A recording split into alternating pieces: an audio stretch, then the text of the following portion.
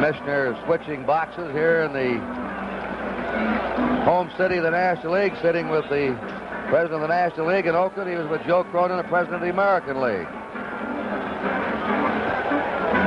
I wonder if that runway might be blocked. I'm wondering. This is the case of the missing starting pitcher. they might forfeit. when the Mets take the field, they'll have Cleon Jones in left field. Here they are, Don Hahn in center, Rusty Staub in right field. There's Tom Seaver. Wayne Garrett's at third. Bud Harrelson will be the shortstop. Felix Millan at second. And John Milner at first. Seaver right out there in front of the mound now, Curt and Lindsey checking the playing surface. There was a slight sprinkle just before game time. He wants to see how his footing's going to be going after a slow hit ball or a bunt. He's a very thorough young man. He doesn't leave very much to chance. He wants to know exactly how everything is. Very well organized, isn't he? He knows what he wants to do before he goes out on the mound. He has a purpose for every pitch.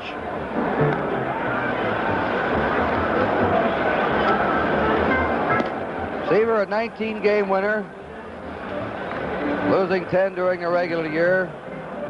Season before, he won 21. And he won the clincher here in the fifth game against the Cincinnati Reds to put the Mets in the World Series. Lost a heartbreaker in the opening game of the playoffs, where he struck out 13 batters at Cincinnati.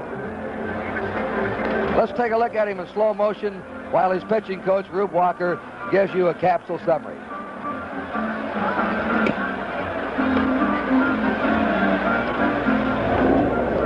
Tom Seaver's primarily a power pitcher. He has a real good fastball, curve, change, and slider, and he has real good command of all of them. I can't hear him.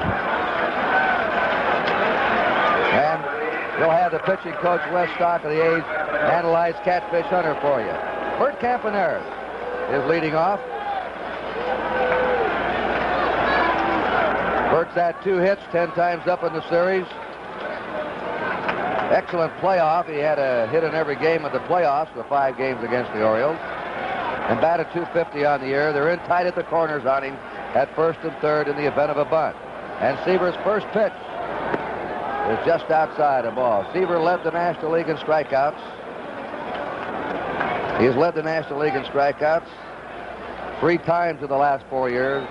A strict power pitcher with control and know-how. A pop up the back of the plate Jerry Grote, the catcher, flips his mask away and puts it away. One down. Bert Campaneris fouling out to catcher Grote.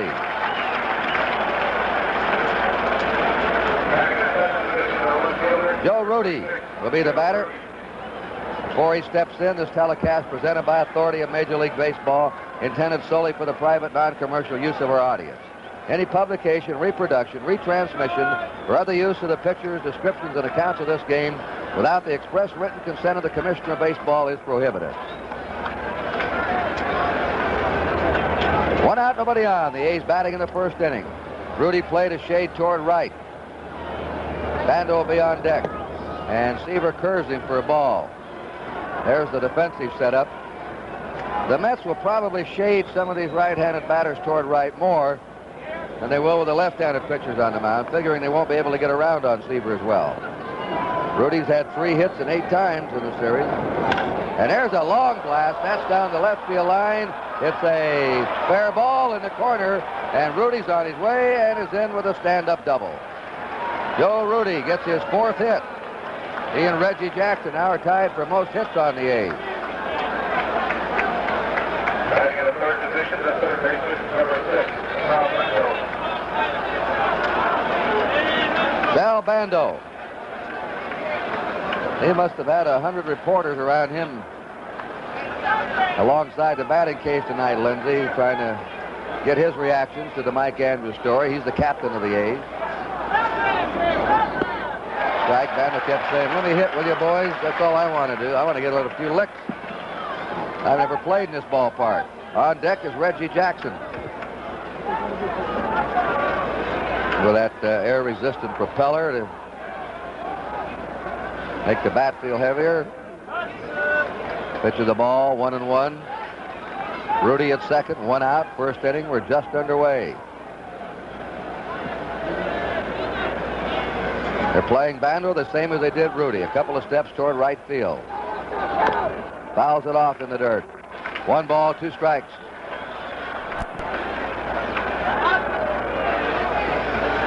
The breeze is a crosswind from third to first right now. Eight to ten miles an hour. Ball's hit in the air to right field, might be given a boost as it suddenly dies down.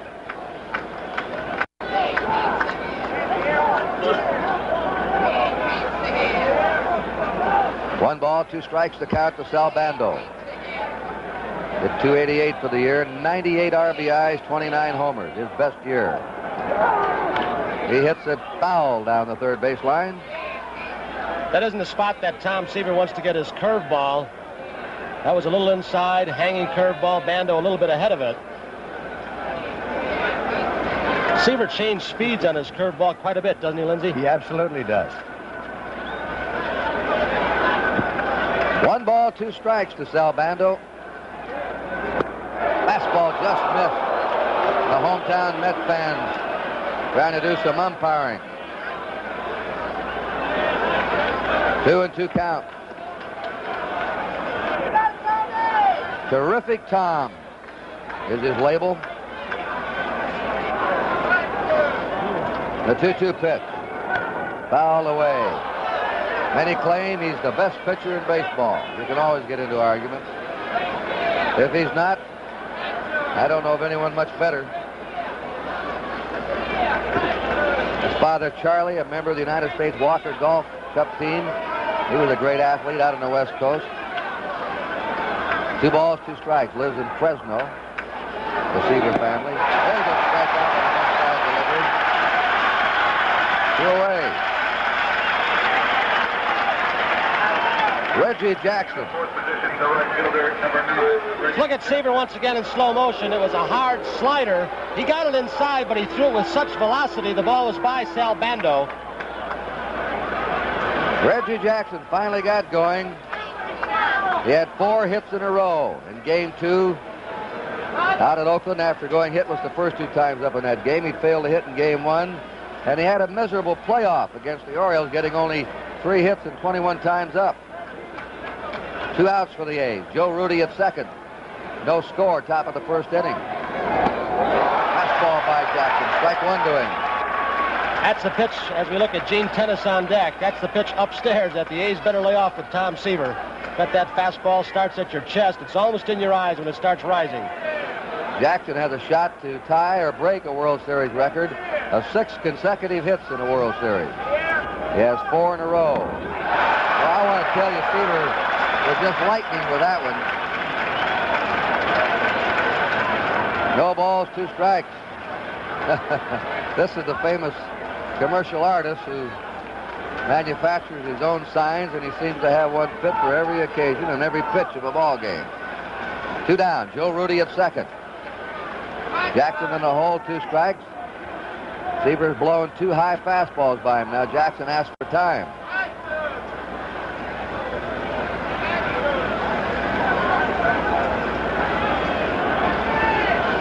They're playing Jackson to pull to right field.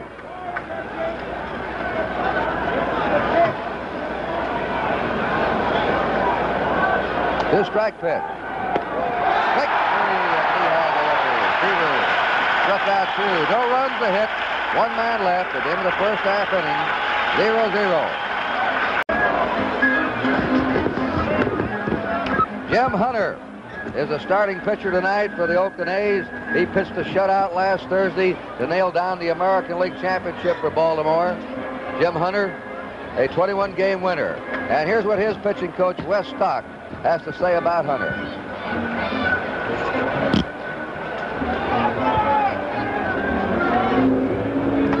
Pitcher is a kind of pitcher is a control pitcher. He relies on his slider and his fastball, and also he'll make a change on his curveball once a or a straight changeup. He's a pitcher that really has a lot of determination and knows what he wants to do when he goes out there. Wes Stock commenting on Jim Hunter. Wayne Garrett leads it off for the Mets in the last of the first. He's had one hit at 11 times. That was a home run. First pitch is outside for a ball. Jim Hunter has won 21 games in a row, three successive years. Bourne still lives in Hertford, North Carolina. There's a long blast. That one's way out, and it is a home run for Wayne Garrett.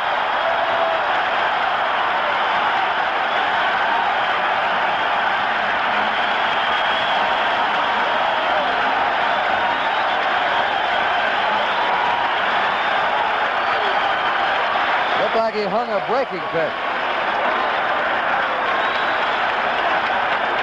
Here's that swing in slow motion, jumping on what looked like a Cactus center fastball.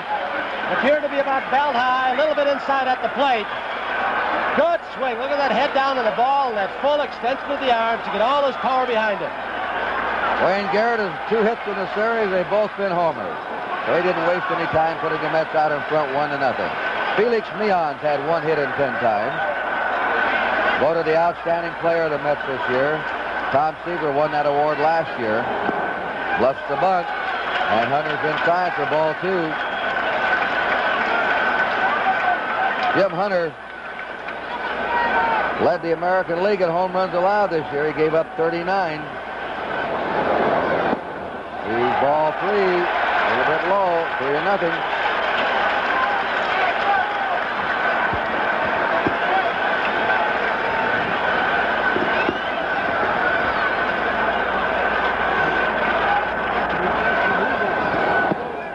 Strike. Three balls, one strike. To Felix Millan. Nobody on, nobody out. The Mets ahead, one nothing. There's a base hit in the left field. Millan makes his turn. Joe Rudi pegs it in. And the first two Mets up are hit safely.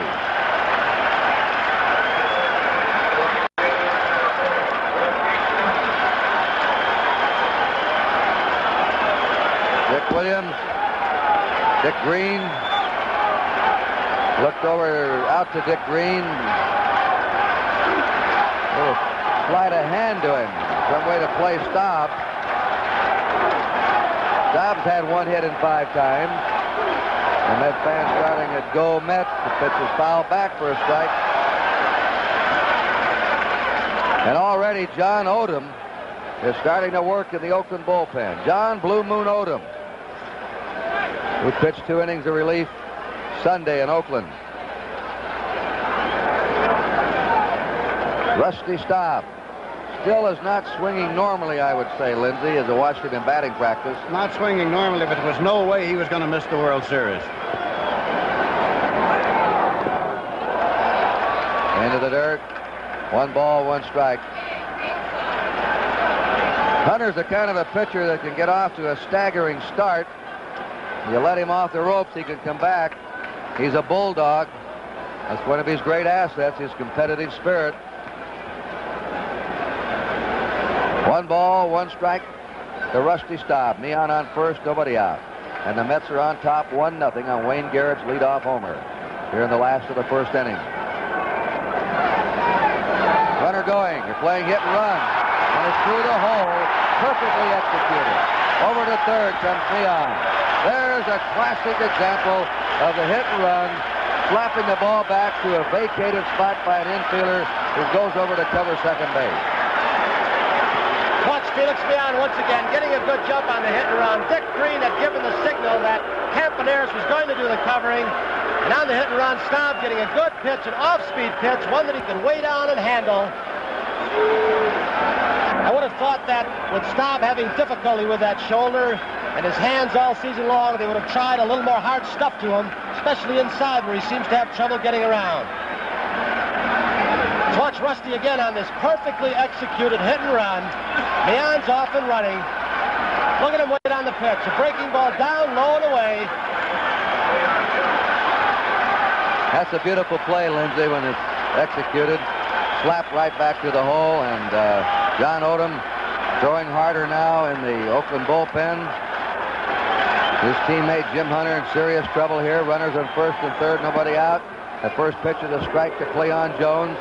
Jones leads the World Series in base hits with five, five out of nine. There are the two runners, Millan at third, Staub at first. The Mets ahead one nothing. They're home before their roaring fans. Into the dirt and bounces away. It's into the dugout. And the score is Millan.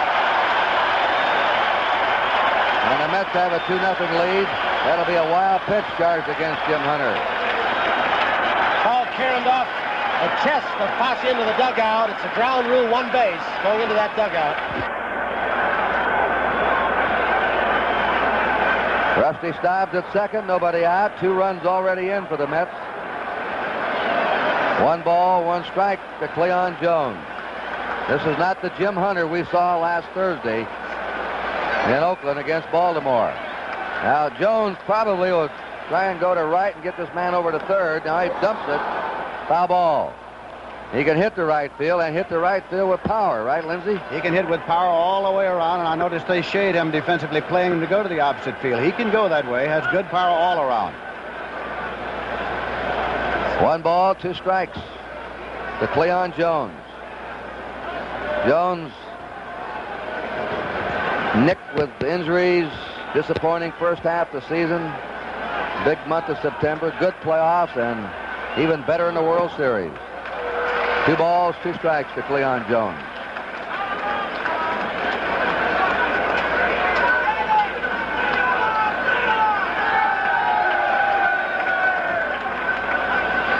Jones is the best athlete on the Mets. Running, throwing, power, all-around athletic ability. Hunter's curve is high and inside to him. Ball three, three and two. Cleon Jones graduated from Mobile County Training High, Mobile, Alabama. See, that city of Mobile has turned out many great players, including Henry Aaron, Willie McCovey, Billy Williams. The 3-2 pitch pops it foul back toward the seat. And Cleon was considered the best all-around athlete in the school's history. He and Tommy Agee were childhood and school buddies, later teammates with the Mets. In high school, they called him Beep because when he carried a football, they said that's all you heard. Beep, and he's gone. Three and two. To Cleon Jones. Nobody out. Rusty Staub at second. Two runs in for the Mets.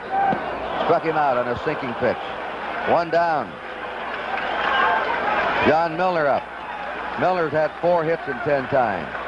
He had only three hits in the playoffs in 17 times.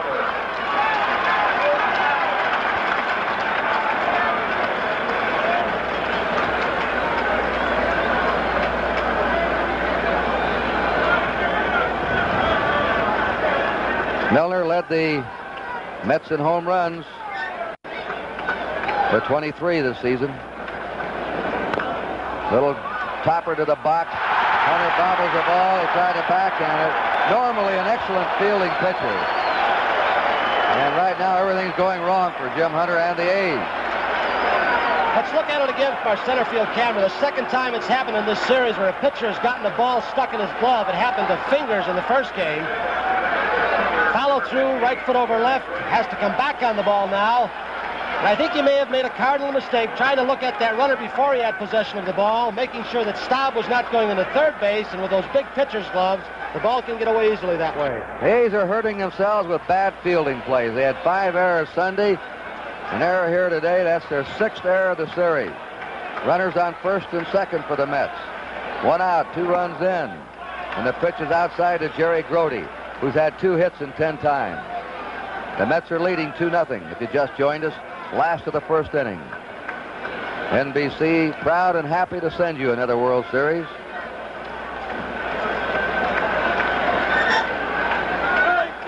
One 0 pitch. Curve for a strike, one and one. Jim Hunter injured himself in a hunting accident senior year in high school. Had already signed a bonus contract. The A's kept the bonus and had his foot repaired at the Mayo Clinic. And he's come on to become one of baseball's great pitchers. Two balls and a strike to Jerry Grote. Rusty Staubs at second. John Milner's at first, one out.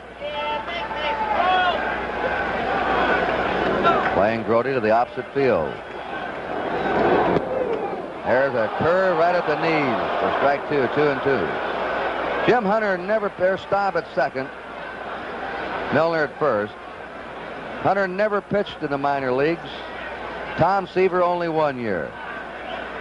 They both had it young. They were ready. The real stars usually are when they're young. The 2-2 delivery. Boy, he blew that one by him. A high inside fastball. Strikeout number two for Hunter. And Don Hahn is up now. Don Hahn has had one hit at nine times. His seasonal figures you're taking a look at. Outfield shallow for him and to right. Two down. Runners on first and second. On hits a drive into left center. Joe Rudi's positioned and has it to retire the side. And Hunter bulldog his way out of that jam. Two runs, two left. There was one error. The end of the first. Back at Shea Stadium in New York, Gene Tenace, the batter, swings and misses on the first pitch as he leads off the second inning. It's strike one. Tom Seaver staked to a 2 0 lead. Right back with another fastball, grounded off and into the A's dugout. Tenace, the hero of last year's World Series. One for six in this World Series, but has drawn three bases on balls. He had 101 during the regular season, fourth best in the American League. Flag still blows out toward right field. Breaking pitch, and Tenace strikes out on three pitches. Got two fastballs and then a curveball, and Seaver has now struck out three men in a row. And the heart of the lineup, Bando, Jackson, and Tenace. Davalillo, who spent a great deal of his time in the National League, batting sixth tonight, playing center field, left-handed batter, will step in. And by the way, all of you listening on the American Forces Network in Europe, throughout South America, on FEN in Asia, and in Japan, we welcome you to Game 3 of the World Series from Shea Stadium in New York. Seaver throws a breaking pitch, a curveball that stays outside to Davalillo, ball one. Mets have their two runs on three hits, no errors. Oakland, no runs, one hit, a double by Rudi, and one error that did not hurt Catfish Hunter. His wild pitch did. Want to know the count to Davalillo. Seaver comes back with the fastball. Outside, it is 2 0. On deck is the catcher, Ray Fosse.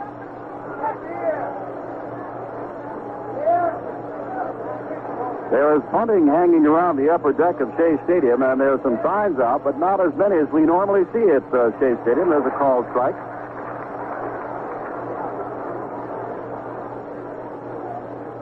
One sign says Shea the A's. And of course, there are many you gotta believe signs around. Seaver back with a fastball, a little outside. Three balls, one strike to Davalillo.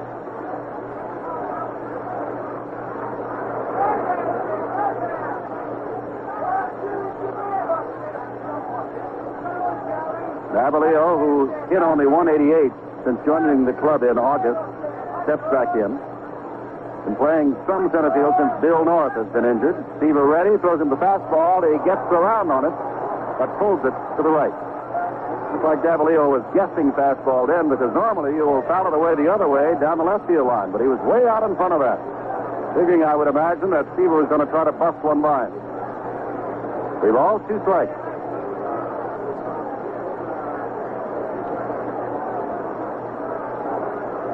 Seaver ready to throw. Throws the fastball. This one is fouled off to the left. Tom, a Fresno, California man, where he was all everything in high school out there, now lives in Greenwich. In the World Series of 1969, he lost 4 to 1 at Baltimore, but then came back and pitched a 2 to 1 complete game in the fourth game here in New York. Back again, fastball catches the outside corner, and there's strikeout number four in a row. But Davalillo looking on a 3 2 fastball. And that'll bring up Fosse. Right-handed hitting catcher, former Cleveland property. Hit 256 throughout the season, but he is 0 for 8 in World Series play. Right-handed batter.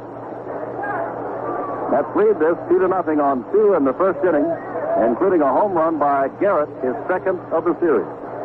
Tom Seaver goes to work on the right-hander Fosse, throws him a curveball that drops in beautifully. Strike one. Well, they say the A's scouting report says that Seaver can field. He can hit pretty good. He can throw the fastball faster, faster, faster. Has a good curveball, good change, good slider, good hard curve. There's a fastball, and it's fouled off down the third base line and gets past the ball boy down there. Well, there are many things to be said about Chase, New York, and the Oakland Coliseum, pros and cons of those two different ballparks. The biggest one I can see, they've got lovely ball girls out in Oakland, California. A couple of young boys up here. 0 and 2. Oh, he missed with a breaking pitch. It gets under the glove of Grote. Rolls back to the screen. One ball, two strikes. Seaver started out Campaneris at the top of the first inning, getting into foul out to Grote. Rudi laced that fastball for a double off the left field wall, and since then it's been good night, folks. Bando struck out swinging, Jackson looking, Tenace swinging, and Davalillo looking. Comes back with another low and away breaking pitch that goes into the dirt. Eller of Cincinnati back in 1919 and Moe Drabowsky back in 1966 struck out six in a row. That is the record for consecutive strikeouts in the World Series game. Fastball. Fastball. And there is strikeout number five in a row. So Tom Seaver is taking dead aim on the record, and more importantly, he leads at the end of an inning and a half, two to nothing over Oakland. Right now, the story is Seaver. He has struck out five Oakland A's players in a row, and he has a super fastball and outstanding control of it. He's throwing a few breaking balls, but that's just sort of frosting on a cake once in a while. He is throwing the fastball by the A's batters as of right now. Bud Harrelson leads it off in the last of the second inning. Harrelson had quite a game Sunday. Hit the ball very hard his last four times at bat. One of them was a line drive to deep left. Wound up with three hits in his last four times at bat. He's three for eight in the series. As an RBI, hitting at 375.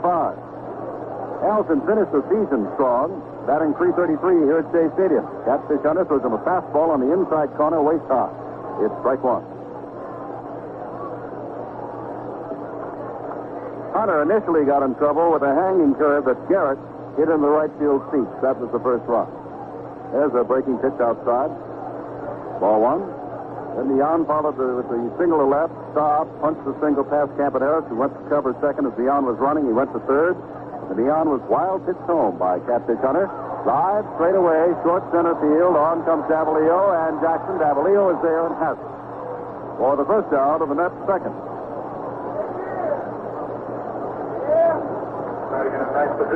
Campaneris lost his hat on the way out, and so did Green. Here's Tom Seaver. He's won 20 games this year, if you include what he did in the National League Championships, but his regular season record, 19 and 10, but that dandy earn run average. And he led the National League in strikeouts with 253, and he struck out five in a row here tonight. Makes the fastball low and inside. Ball one. Seaver has been to bat, or was at bat, six times in the playoffs of the National League. Had two hits, both of them double. Want to know? Hunter throws a fastball down the middle. One ball, one strike. Pitcher to fit ever in the minor leagues. Tom Seaver one year in the minor leagues. Their careers have been spent almost exclusively in the big time, and now in the World Series. Breaking pitch gets inside, and Hunter has lost his hat. Two at one. Garrett, who hit the home run in the top of the first, stands on deck. Well, that wind has really shifted around. Instead of blowing toward right field, is now blowing very hard toward left, favoring the right-handed hitters. Another fastball down the middle, and it's two and two to Seaver. That's called strike two. It is a rather cool night here, and top coats to raincoats are very much involved. Down to the screen. Some people are bundled up. Those who are simply wearing sports jackets have warmer blood than we do. Two balls, two strikes. Neither team has really made an announcement about tomorrow's pitchers. There's a lot of conjecture. We'll have it before we leave. Breaking pitch pops up right side. Over comes Tenace. Over goes Fosse. Tenace near the he goes into the photographer's box. Does he have it? He does. Right there is Paul Pryor, umpire of the National League, saying he got it as Tenace fell into the box, and the Mets fans him quite a hand.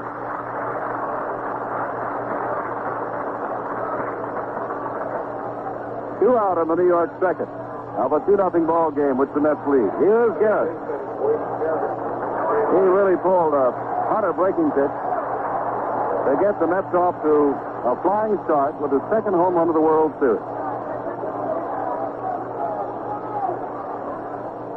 Hunter admittedly has been pitching to the 8-9 men in the order, but his control has looked much better here in the second inning. This one is away from Garrett, ball one. He was throwing balls in the dirt, committed one wild pitch, and committed also an error in the top of the first inning. There's another drive, but he got around on this breaking pitch. Garrett pulled one for a home run and gets too far around on this one, puts it foul deep to right. One ball, one strike.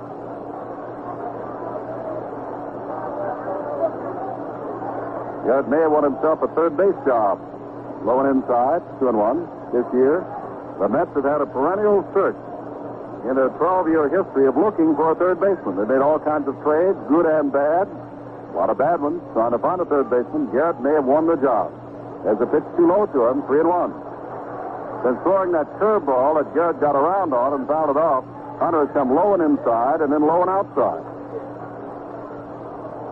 Doesn't want to make the same mistake again and get that ball up where Garrett can pull it. And he throws this fastball right by him. Three and two.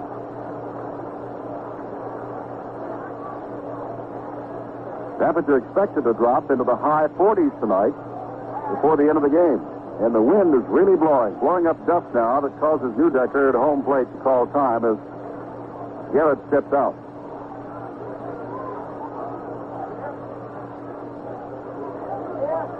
Breaking pitch outside, he has walked Garrett. First walk of the ball game, a two out, and that'll bring up Millan. Millan who committed the error in game number one that allowed the two unearned runs that defeated John Matlack and the New York Mets in game one. Number 16.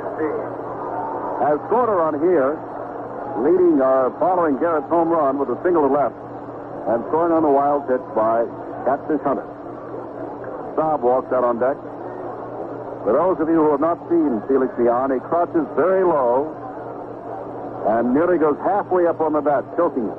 Strikes out very seldom, nearly always makes contact. Good man to use the hit and run on, and this is fouled to the screen. Behind home plate, strike one.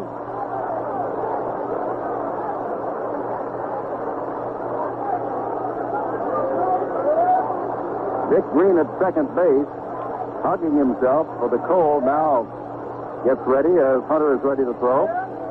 Ball drilled right, foul, down the right field line. And two.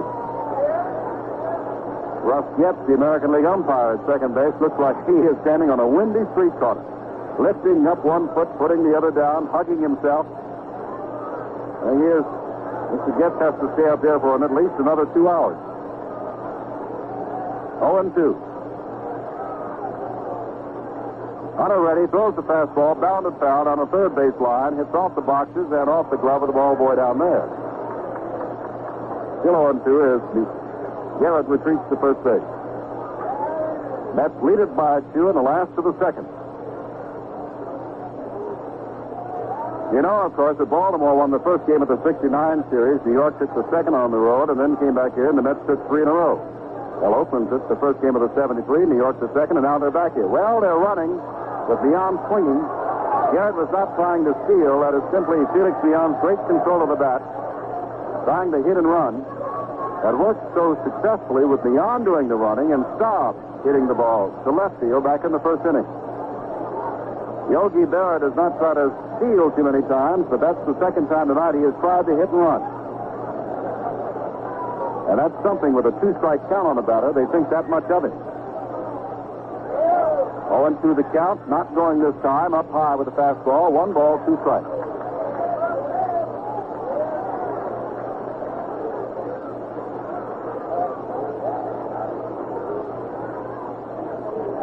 We will have games two and three tomorrow night from New York. Question is, do we go back to the coast for game Saturday and or Sunday? Little line drive at Campaneris takes by second base. To get him out of trouble, no runs, no hits, no errors, and Garrett left at first. They've gone the first two. New York leads it two to nothing. As the Oakland A's bat in the top half of the third inning, it'll be up to Dick Green as to whether or not Tom Seaver ties an all-time World Series record of striking out six in a row. He's been throwing so far tonight. And the way that wind is blowing, uh, the colder it's getting, these batters are going to have a few bees in the hands it's all over if he keeps throwing this hard. Dick Green struck out four times, make that uh, two times, only only batted twice in game number two and one time in game number one. Downs this ball, so there'll be no record. Third baseman Getz was on to first and there's one out. So the record very quickly goes by the board. Didn't even get a chance to say that it was Green who was batted for. Early in the ball game Sunday, that set up the Kubiak replacement. Kubiak was batted for. That set up the Mike Andrews replacement at second base. The two errors that allowed the three runs. The subsequent squabble over Andrews. Was he fired or is he really hurt? And the commissioner's office denying the A's the chance to use anyone else to uh, fill in for Andrews and ordering that he be in uniform, which he is not. Here's Catfish Hunter. First time up in this year's World Series. 227 lifetime average, but during the regular season batted only once and singled. Takes a good cut at a Seaver fastball, strike one. At the end of the season, Dick Riddy informing his 20 game winners to get some batting practice, anticipating this kind of situation in the World Series. Let them bat. There's a swinging strike two. And Hunter had a base hit in his only time at bat. Stevens allowed one hit, struck out five, comes back with a fastball that just does miss outside. One ball, two strikes. The wind continues to swirl. We'll just say that it's blowing in Shea Stadium. Direction changes. Breaking pitch, hit out towards center field. Over comes Don Hahn, in a little bit, and has it. Hunter's a pretty good hitter. Seaver was out in front of him. Hunter got around on it. Lined at the center. Jim, here before last, when Catfish Hunter negotiated his contract with Charlie Finley, he got so much money, I believe it was $50,000 for uh, pitching and 5000 for hitting. Here's Campaneris who fouled out first inning and waves at a Seaver sweeping curveball. Strike one. Complete athletes in baseball among its pitchers. He can swing the bat, he can throw, and he can feel his position. Strike one pitch from Seaver throws him another curve. This is blown away. Seaver has done a masterful job spotting that curve. The one base hit by Rudi was off a fastball. One ball, one strike. Comes back with the fastball, and Campaneris never had a chance. Ball was in Grote's glove as Campy was starting around. One ball, two strikes. Mets have their two runs on three hits, no errors. Oakland, no runs, one hit, and a harmless error.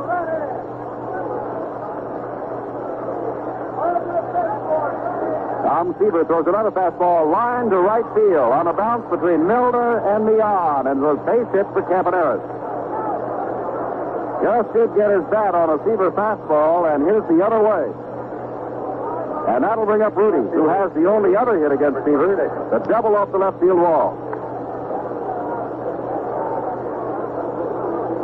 Bando walks out on deck as Rudi prepares to step in. Rudi, the right-handed batter. Jackson and Davalillo, the only left-handers in the lineup against the right-handed Tom Seaver. Ready and throws. It's down low, blocked by Grote. Ball one.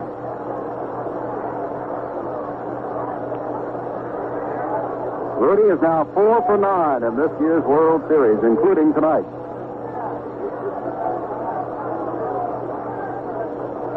Has home run power. Fastball, grounded toward Harrelson at shortstop. Picks it up, goes on to the on second base for the fourth, and that's it. The runs, one hit, no errors, and one man left. We go to the last of the third. Fever the Mets, still nursing that two to nothing lead over Oakland. No runs. They've had two hits so far. Off Tom Seaver. Now as Catfish Hunter gets ready to go to work to Rusty Staub again, here's Jim Simpson.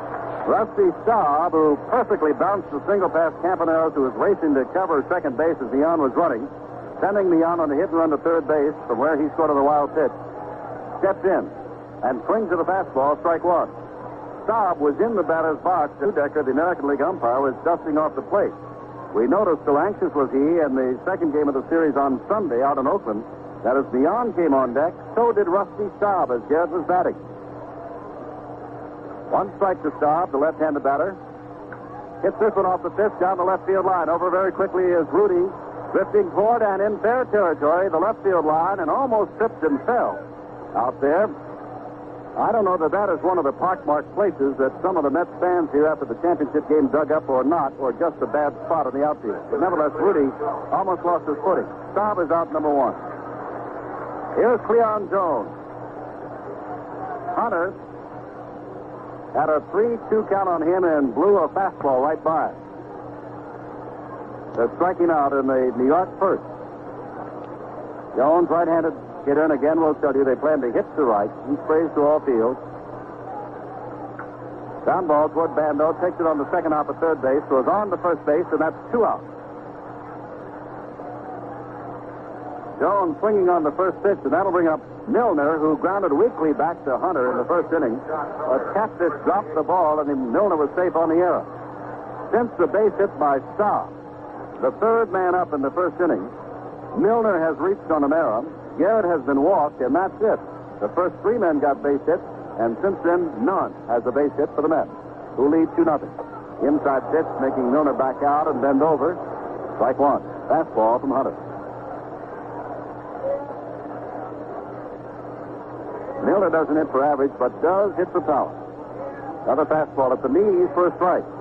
And someday, John, who is only 23 years old, might be a pretty good hitter for average also. Hunter ready. Fastball is too high. Again, we're in the third inning, the last of the third, with two outs. The short score, two runs, three hits, no errors for New York, no runs, two hits, one error for Oakland. Hunter Jim Seaver throws a breaking pitch that stays outside. It's three and one. Three balls, one strike to John Milner. To Jerry Grote on deck. Fastball misses low and away, and Hunter has walked his second man. And that'll bring up Grote, who struck out swinging in the first inning. Grote went for what looked to be a high inside pitch, pulled very badly, and struck out. Cool weather in New York. 10% chance of rain, they said. And for those of you who have been with us from the outset, know that it did rain before game time for about 10 minutes.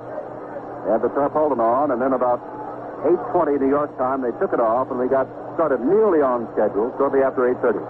Fastball, line foul just by third base. Bando not guarding the line this early in the ball game, well off the bag, and that ball curved across the bag and went down the left field line foul.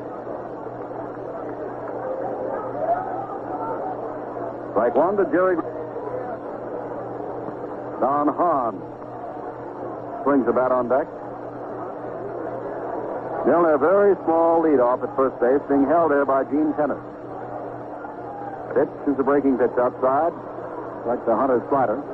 Had trouble with the slider. Monty Moore can tell us more about that after he broke his thumb in the All Star game. One and one.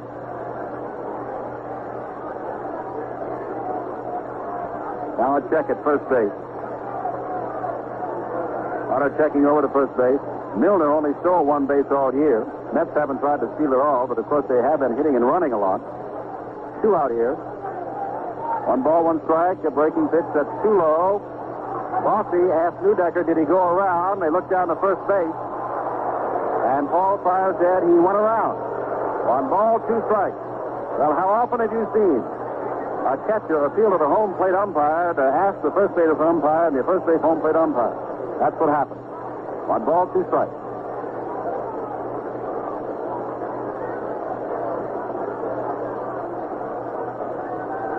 Again, Hunter checks over to first base.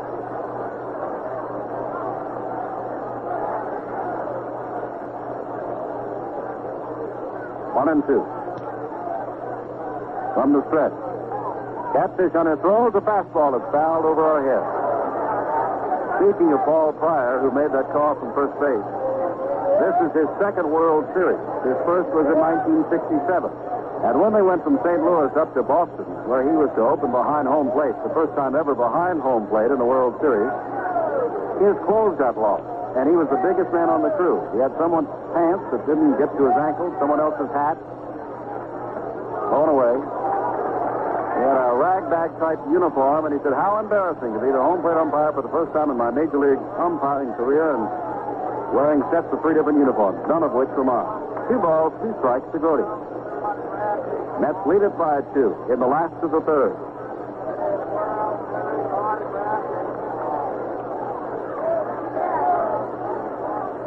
Hunter ready, takes something off this pitch. It's down toward Campaneris, who charges and now throws to second base. No, it's almost an afterthought. Could have gone to first base.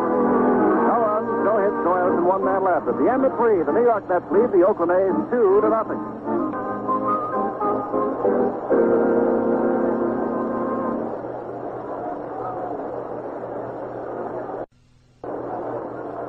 Third baseman, Sal Bando, number six.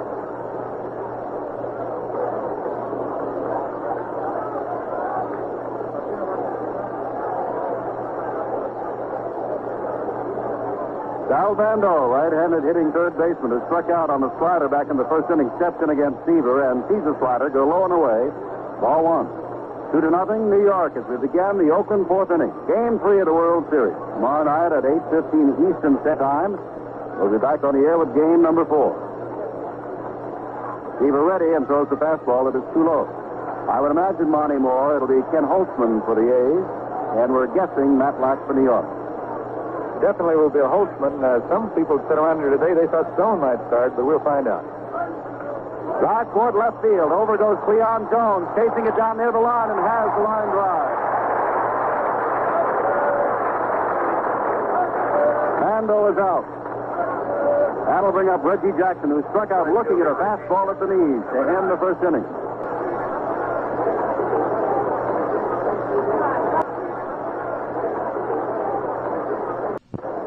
Well, I know, Monty, as we were discussing, Rube Walker, the pitching coach for the New York Mets, likes to go with a five-man rotation, four days rest. And during the regular season, it's proved to be an exceptional method of pitching, and the Mets had great success with it. But in the World Series, he might just go off that for a moment and go with his best at Matlack, who did not go all the way in game number one, remember. Jackson fouls the first one off. Out of play. Matlack in the first game worked six innings, gave up two unearned runs and only three hits. And if the Mets should have their 2 nothing lead held on to tonight, Yogi Berra might be sniffing a real advantage by starting his best pitcher of the last month, John Matlack, tomorrow night. One strike to Reggie Jackson. Jackson four for ten in the series. This ball hits the plate. Ball one. Has a double, has a triple, has driven in two runs. And at this moment, the wind favors strictly Jackson, blowing toward right field. Tom Seaver, the right-hander, throws a breaking pitch, strike. Oh, he has used that curveball when least expected. One ball, two strikes. Count of 0 and 2, and he went with a breaking pitch. You know the man's going to be guarding the plate on that one. Another breaking pitch and struck him out swinging. Strikeout number six. Seaver had five in a row through the second inning. Hasn't struck out anybody until Jackson here in the fourth. That's six of them. And here's Gene Tenace, who struck out swinging at a curveball on the second. Seaver set him up beautifully. Two fastballs for a strike and then struck him out with a curve. Mets lead this by two in the top of the fourth. Seaver fastball outside to Gene Tenace. Ball one.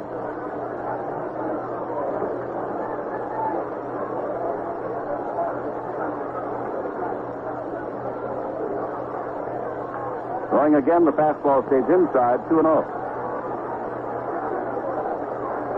Seaver, in his last game that he pitched, was the clinching game last Wednesday for the National League Championship. 7 2 over Cincinnati. Swing and a miss by Tenace.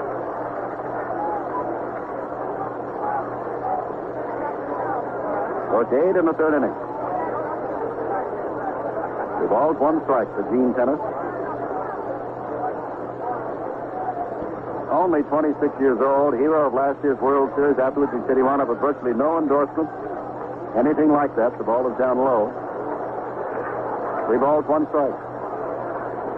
Then return to have a good year with 24 home runs and 84 RBIs playing all of this year. Another fastball, and Tenace draws his fourth walk of the World Series, the first given up by Seaver. And we'll recall again, he was fourth in the American League in drawing walks during the regular season. Dick Davalillo, who struck out looking at a fastball on the 3 2 count of the second, comes up. Seaver has given up a double to Rudi, a single to Campaneris, and has walked Tenace. That's it in three and two thirds innings. The Mets got their runs in a hurry with a home run and two base hits and a wild pitch. The first three men up in their half of the first inning. Fastball, strike to Davalillo. Seaver, to repeat, the power type pitcher. He goes right after the batter.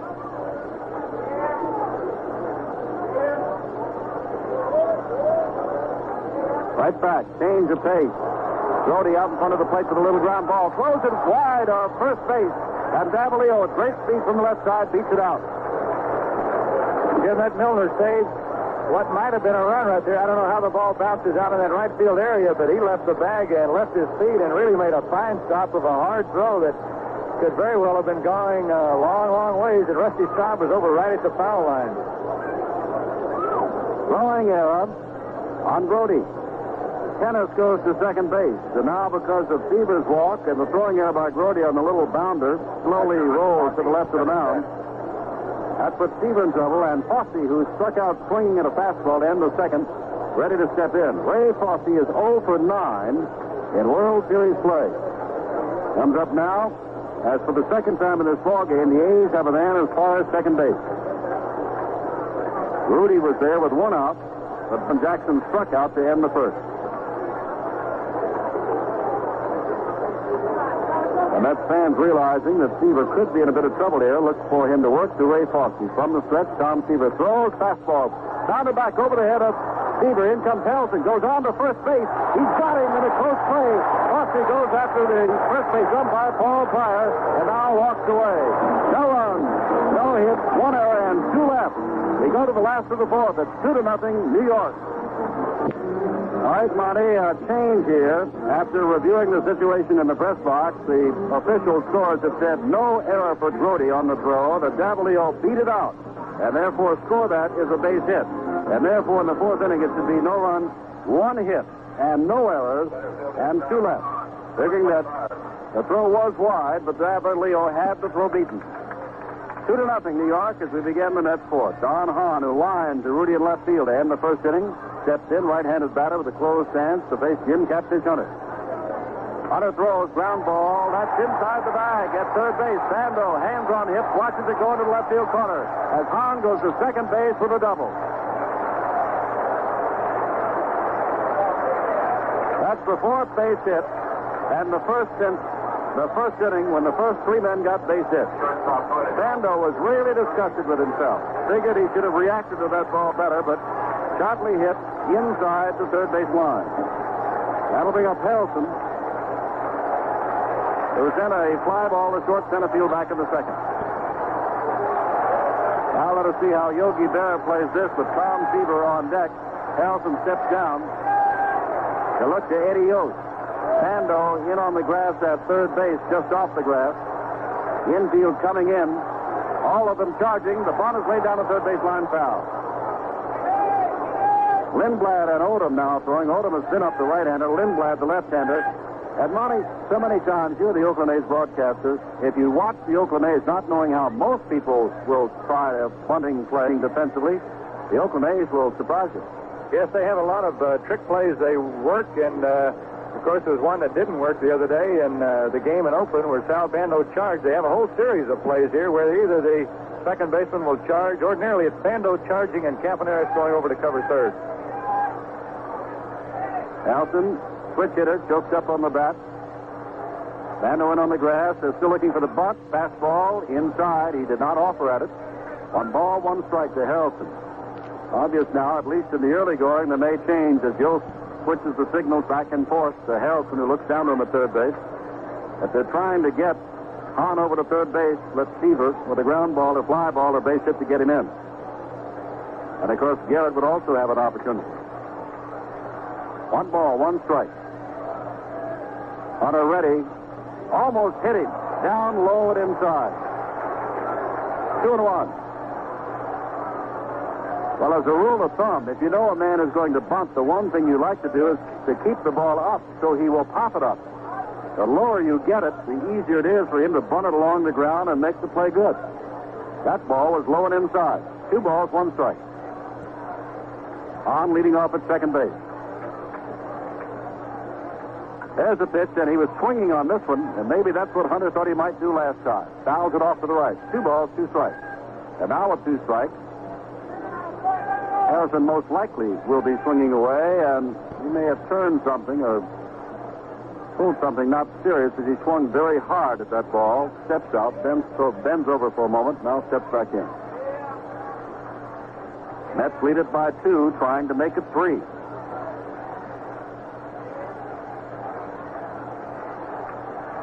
On a ready, the fastball popped up foul out of play behind home plate. Still two and two.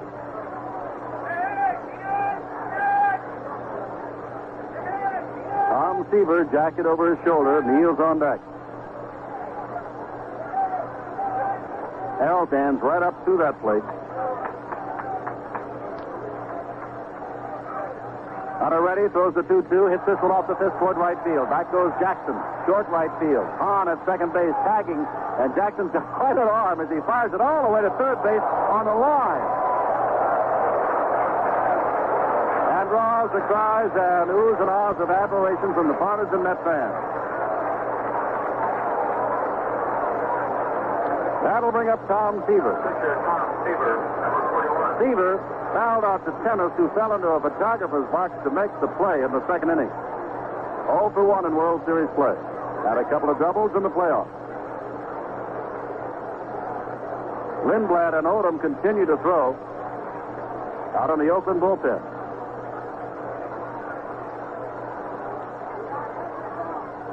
Seaver bats right-handed as he throws and swings and waves at a breaking off speed pitch. Strike one. Mets have their two runs on four hits, including Garrett's homer. The A's have yet to score, have had three hits and committed one error.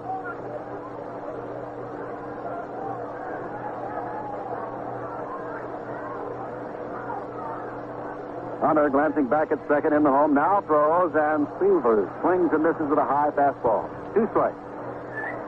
Wayne Garrett, who led off the Mets first inning with a home run, stands on deck. 0 2 the count receiver with one out and Hahn at second. Now the fastball down too low, and it's one ball, two strikes. Fosse turned around to Jerry Neudecker of the American League as though that might have been a strike. Down the right field line is Augie Donatelli, who made the call on Harrelson in the game on Sunday out in Oakland. When he was introduced tonight, the Mets fans gave him a big boo. One and two, and that's foul of the three. Still one ball, two strikes. Our ball game just a little bit more than an hour old. We're on the last of the fourth. On a chilly night in New York. And what's more, it's supposed to be colder tomorrow night. One and two. Temperature dipping into the 40s. Breaking pitch, strike three call. Third strikeout as Seaver looks at a curveball. On a one and two count. And that'll bring up Garrett who hit a Hunter curveball for a home run in the first and then drew a walk in the second. And very quickly, Wes Stock, the pitching coach, comes out to talk to Catfish Hunter. Just a little reminder, I'm sure. Uh, Jim has had a lot of trouble this year with the leadoff men. Uh, in this league, uh, a little fellow named Al Bumbry of Baltimore, who hit something like only seven home runs all year, hit four of them off Hunter, and he's a leadoff man for Baltimore. Uh, Freddie Patek of the Kansas City Royals, a little bitty guy, hit home runs off him. And here's Garrett, who's not all that small and has a pretty good home run hitting reputation, and they know where he likes the ball, and it, they're going to walk him right here and fix him beyond. I think they put it up to Hunter, Jim. And Hunter, who gave up the home run and then walked Garrett, obviously said as there's outside ball one because, as you'll recall, Monty, in the second inning, Garrett was served up another hanging Hunter curveball, and he drilled that one deep but foul in right field.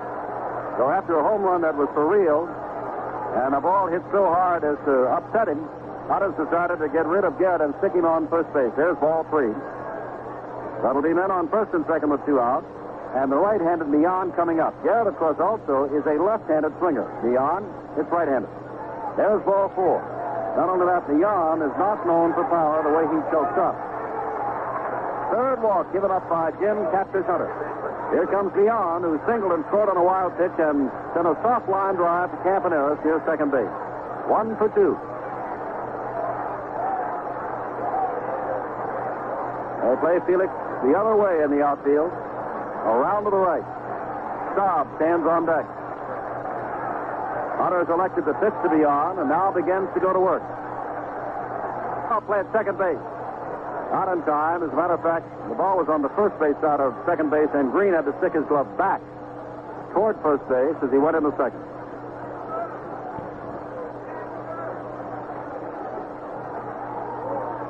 Hunter looking, Hahn dancing off second base, throws the fastball. It's foul, deep to left.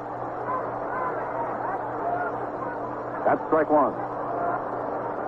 Well, I'll tell you something. Bud Harrelson's not supposed to have power. Jerry Grote's not supposed to have that kind of power. And Millan doesn't have that much power, but Harrelson has nearly hit a home run on one occasion and has sent outfielders very deep on others. Grody sent Jackson to the farthest part of left center field to haul in his drive on Saturday. And Millan just got around on that ball. Now he pops this one up. This also, I believe, will be out of play. Bossy comes back toward the screen. It lands on the screen and will roll down from there. 0-2 to Felix Millan. Millan, very difficult to strike out.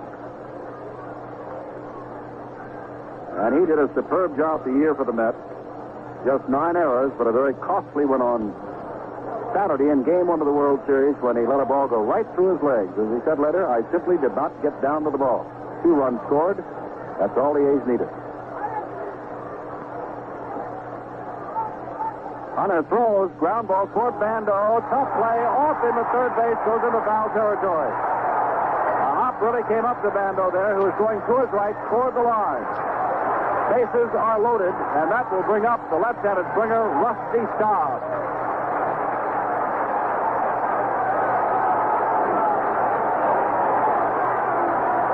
The official scores have not yet, well, now they say it is a hit.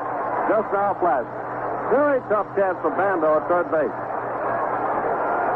That's the fifth hit off Catfish Hunter. Bando walked over toward Hunter. Was on at third. Garrett at second. Millan on at first, and Rusty Staub. One for two tonight.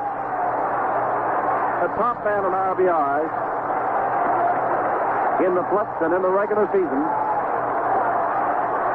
at the plate. Mets lead it two to nothing. Looking for the big hit from Rusty Staub. Catfish Hunter goes to work, throws him a fastball, grounded right back to Hunter. Hunter throws on to first base, and Staub is a very easy out on the first pitch. No runs, two hits, no errors, and the bases are left loaded.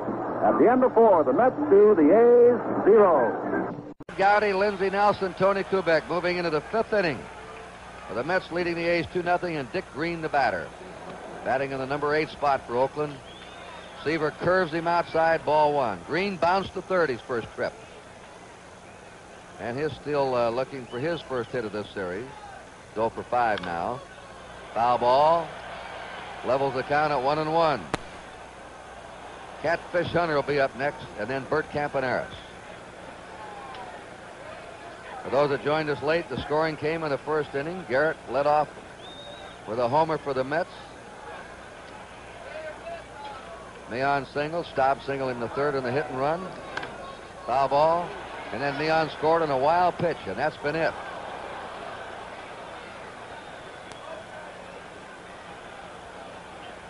The A's have left four. The Mets have left seven.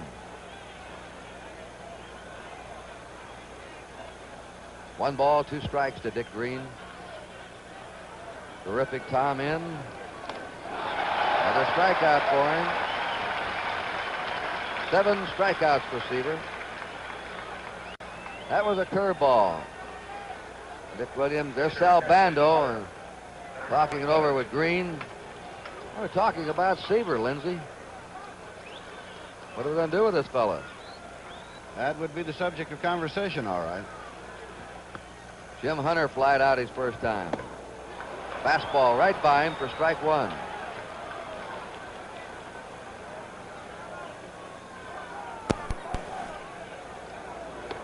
Strike two, nothing and two to Jim Hunter. And Mr. Tom Seaver right now wearing him on his watch chain. He's the man in charge. The two-strike delivery, he had Hunter reaching. Foul ball, 0 and 2. The score, the New York Mets 2, the Oakland A's nothing.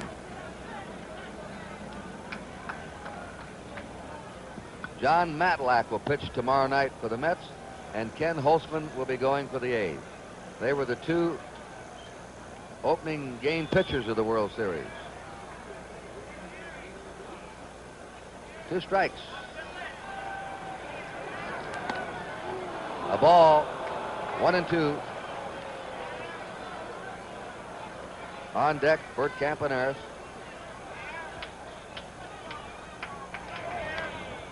Just a piece again. One ball, two strikes to Jim Hunter.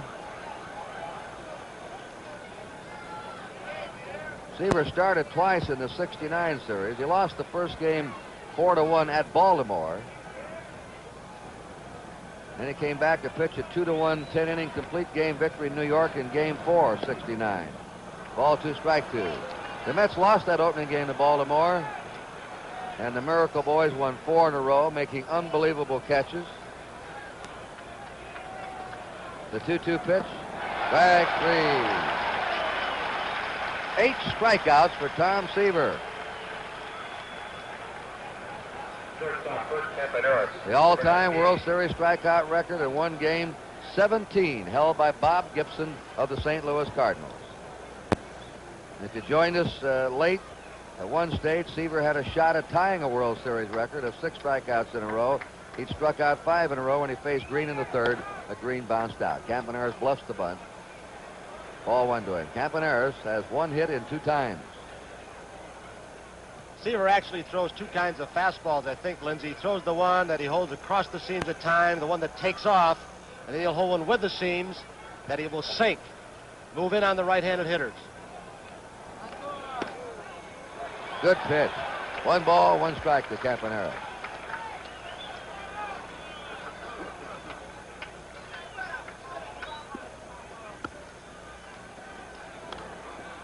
Now ball makes the count one and two. And Seaver staying ahead of those hitters. He not only has good control, he has good control in the strike zone. He can spot the ball, especially when he's ahead. He can go high and tight. He can go low and away, up, down.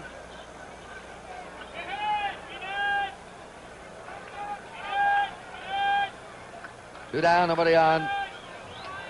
One ball, two strikes to Campaneris. Foul again. You notice as uh, we showed you our handheld shot, how Garrett plays the right-handed batter in tight at third. You have to. One-two pitch. Two balls, two strikes. Campaneris does something. Joe Rudi is the next scheduled batter.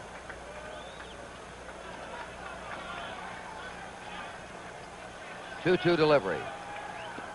Strike three, and Seaver is going to challenge Bob Gibson's record tonight, maybe. He struck out the side in the fifth. At the end of four and a half, it is New York two, Oakland nothing. Shea Stadium, Jim Simpson with Monty Moore. And in the last of the fifth, Catfish Hunter will go through the middle of that lineup for the New York Mets. Cleon Jones, John Milner, and Jerry Grote. Hunter in trouble in the first when Garrett hit a curveball for a home run. Beyond and stopped, the back-to-back singles, and then the wild pitch and scored beyond. Since that time, with one exception in the last inning, when there was an infield hit on an intentional walk, when Hunter loaded the bases with two outs, Catfish has not been in trouble. He trails two to nothing, last of the fifth, and for the second half of the ball game, here again is Monty Moore. Thank you, Jimmy. Joe Rudi out in left field is playing Cleon Jones very deep. Here's Hunter's first pitch, and it's a curve in there for a call strike. Jones had seven home runs in the last ten games the Mets played this year. He really was on a hitting tear at the time they needed him the most. Hunter throws a ball by him on the outside corner, swinging strike two. You can survive first, first inning troubles against some pitchers, but a guy like Seaver who's really got it tonight, when you get behind by two to him early, the bouncing ball a Hunter near that he's got this one, throws the first for the out. One away. Hunter ordinarily a very, very fine fielding pitcher. As Jim said a little while ago, a complete athlete. But early in this game, though he got out of it without it hurting him, he did drop a ball. Hit back to him. It was John Milner, who's at the plate now, who hit it. The A's play Milner strictly as a pull hitter, and Hunter misses inside at high ball one. Oakland playing this series without their regular center fielder for the year, a very sensational young player by the name of Billy North. Breaking ball hits the knees for a call, strike one and one on Milner.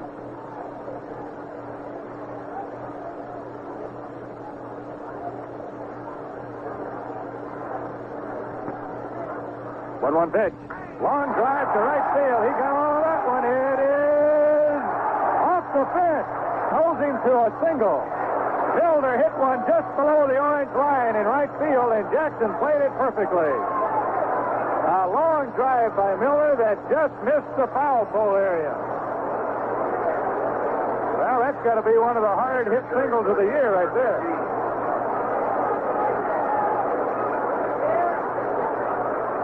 Now here's Jerry Grote. Well, Jackson has had two plays to make in the outfield tonight, and he's made one strong throw. He played this pitch or drive off the wall perfectly and didn't even have to throw it back in to hold the man.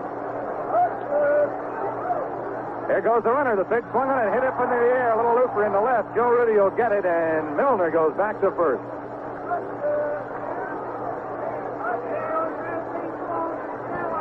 Two down in inning number five, and the batter now is Don Hahn, who really crossed up the A's by hitting one inside the bag at third for a double his last time up. The A's outfield has been playing him well over into right center and very shallow whole series. Pitching him out there, but Hunter let go an inside pitch, and Hahn ripped it. Milner draws the throw at first. It's a very short lead he has there. Mets lead 2 nothing. They've had six hits. Fastball outside to Hahn. It's 1 0. Ray Fosse, the A's catcher who wears contact lenses, just asked for time at the plate, and if he's having to adjust one of them or something blowing his eye or what.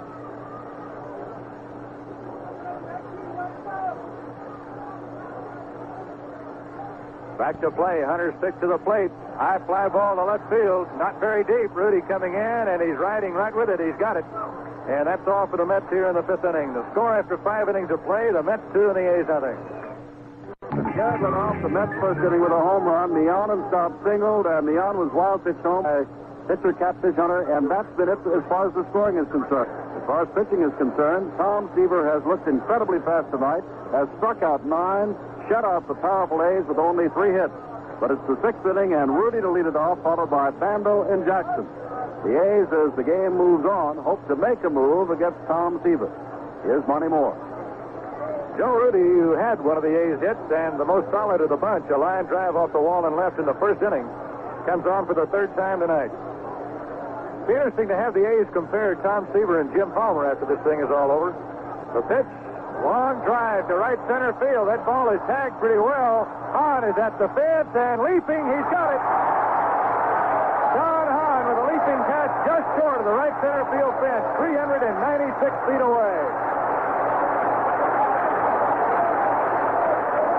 It wasn't a spectacular catch. The ball really didn't get quite to the fence, but it would have if he hadn't caught it. He leaped just short of the wall by about three feet, but I'll tell you, Joe Rudi put a charge in that one. Rudi's been the A's best hitter for the past three weeks, and he has hit a couple of balls like rockets here tonight off Seaver. One out. Here's Sal Bando.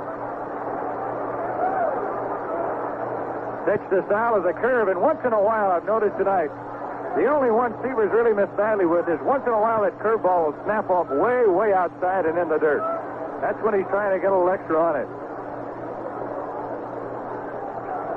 Joe Rudi with excellent power to right center field just came within about five feet of hitting one out of here. Bando takes the whisker duster inside and high. Seaver started him off with a curve, hoping to get him leaning, and then busted one by him on the inside. It's two balls and no strikes.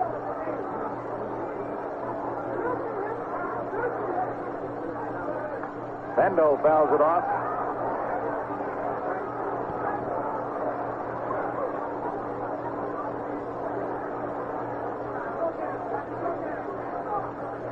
The A's team captain Sal Bando, who struck out in the first inning and lined out to left in the fourth. 2-1 pitch. Low with a fastball. It's 3 and 1. It's only the second batter he's been behind in the game. He walked Gene Tenace. And now he's at 3 and 1 on Bando. Fastball hit deep in the center field. Hahn's on the move again. He turned the wrong way. It's over his head and off the fence. Sal Bando is on his way to second with a stand-up double. Don Hahn, the center fielder, turned the wrong way on that drive. It was to his left, and he turned to his right. But he wouldn't have caught it anyway. And that's two shots in a row hit by right-handed batters to start the sixth inning. And now Reggie Jackson comes up, and if he gets hold of one, it could be tied up in a hurry.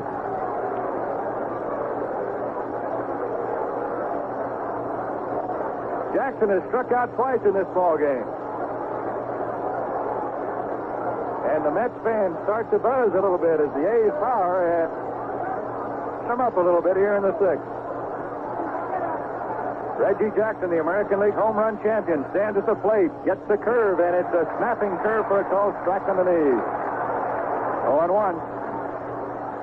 Boy, Seaver's really worked on him. You can tell the great pitchers when they know they have a challenge at that plate. There's no sameness to their pitching. They mix it up and they throw the best they've got. The pitch to Jackson, curve again, strike on the outside corner. Reggie Jackson is yelling at Jerry Neudecker, the home plate umpire.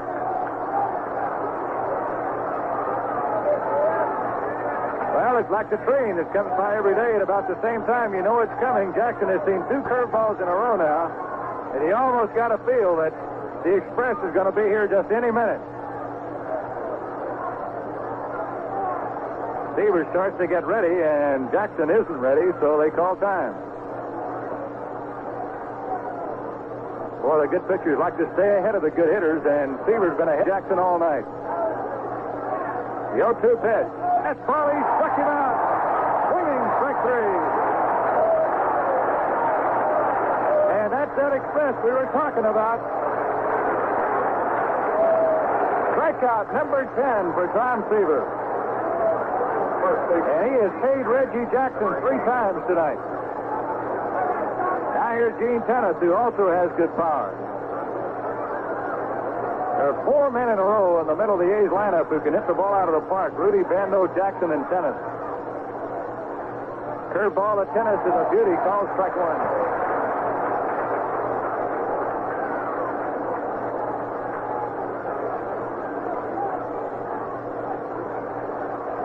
Seaver gets set. Here's the pitch. Fastball line to left field. It's hooking and goes fair into the corner. Here's Sal Bando coming in to score, and Gene Tenace goes to second with a double. It's a two to one ball game, and the A's have really teed off on Tom Seaver here in this inning.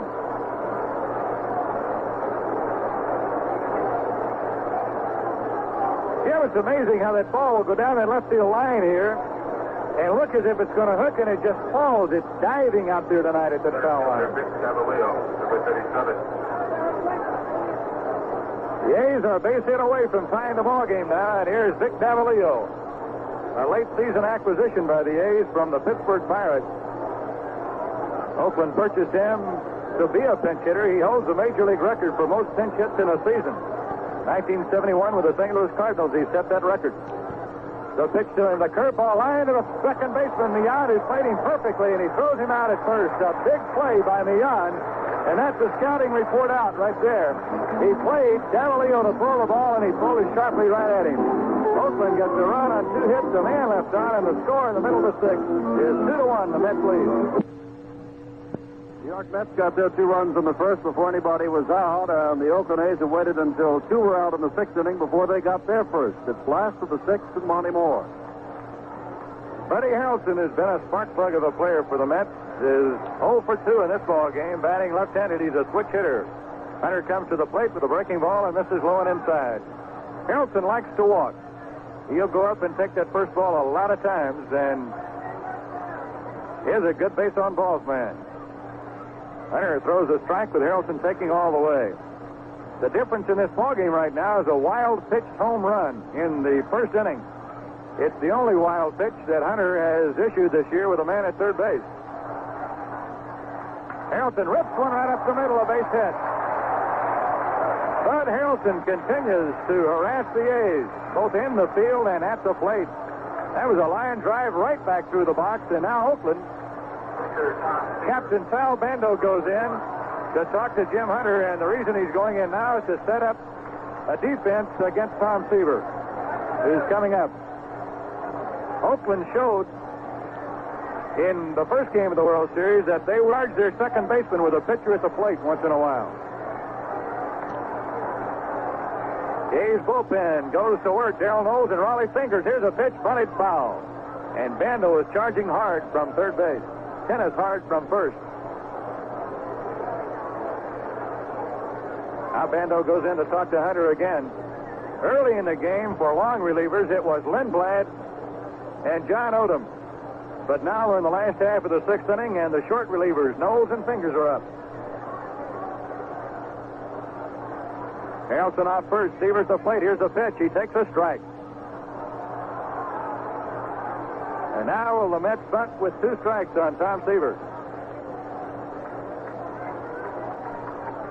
Bando with another message to Jim Hunter.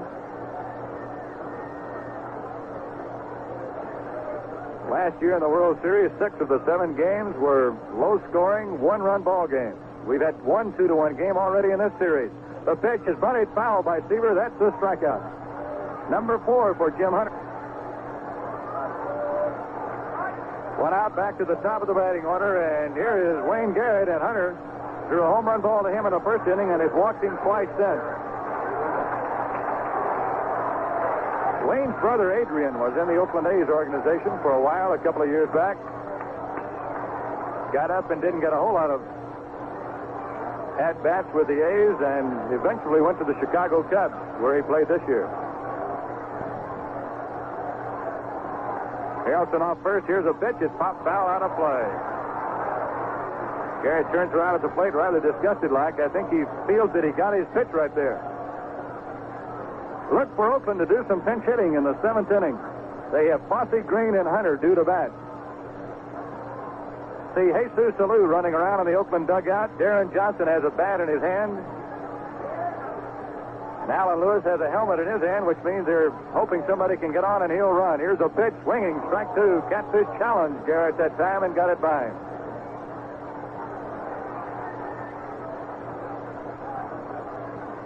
Two to one. The Mets are leading the A's.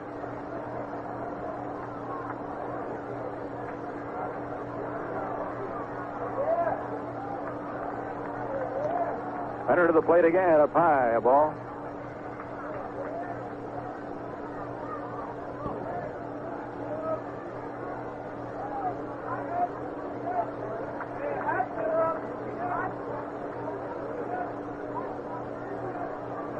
Here in New York the next couple of nights.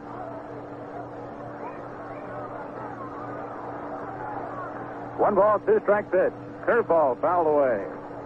Boy, Garrett is a very aggressive hitter at that plate. We're in the last half of the sixth inning. Mets lead the A's two to one. The Mets have seven hits, Oakland five. There's been one home run in the game. Garrett had it. There have been for very close. Fosse giving an inside target. The pitch up high. Ball two.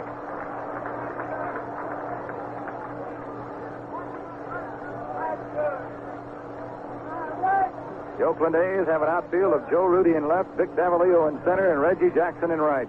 They're swung around to the right. Hunter's pitch.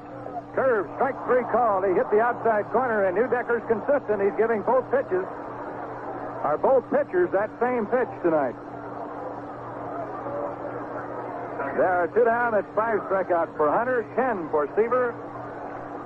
And now here's Felix Millan. He's had two hits tonight, both singles, and he lined out to Campaneris his other time up.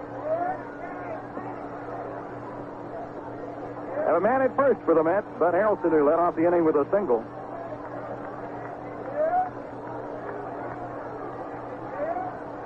Hunter's pitch, line drive, left center field. They're going to have to go to get this one. Davalillo on the run. He's got it. Vic Davalillo playing on in right center field had to turn on the gas, and the little veteran just ran the ball down and caught it on the dead run. For the Mets in the sixth, no runs, one hit. They left a man, and the score is two to one, New York. More as we go to the Oakland seventh, and Monty was exactly right. Both Pat Bourque, former Chicago Cub, now big strong, hitting first baseman for the Oakland A's, comes out to swing a bat, and Jesus Alou is in the on-deck circle, which means that Fosse and Green will be batted for. It's two to one New York. They got Goodwood on the ball in the sixth. Rudi hitting the ball deep to center field. Bando doubling. And Tenace doubling him home. The A's and the pinch hitters go to work, and so does Monty.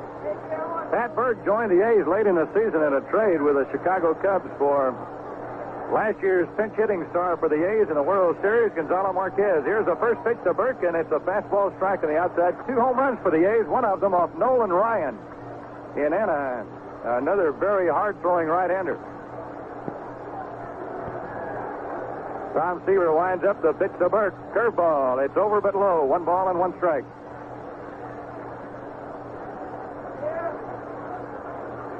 The Mets two and the A's one. The Mets got two in the first, and Seavers hung on since. The pitch to Bourque. Fastball just missing outside. It's two and one. And he's really trying to keep that ball away from this big left-hander.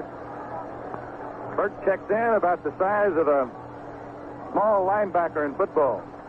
It was about 225, 230 maybe in weight. The A's have some power on the bench. They'll use Bourque and Alou and probably Deron Johnson. 2-1 pitch. Inside. Seaver is screaming at the plate umpire. It's three balls and one strike on Bourque. He changed his pattern a little that time. He'd been going outside on Bourque and tried to blow it from the inside. Here's the 3-1 pitch. Strike two call. Bourque hasn't had a swing yet.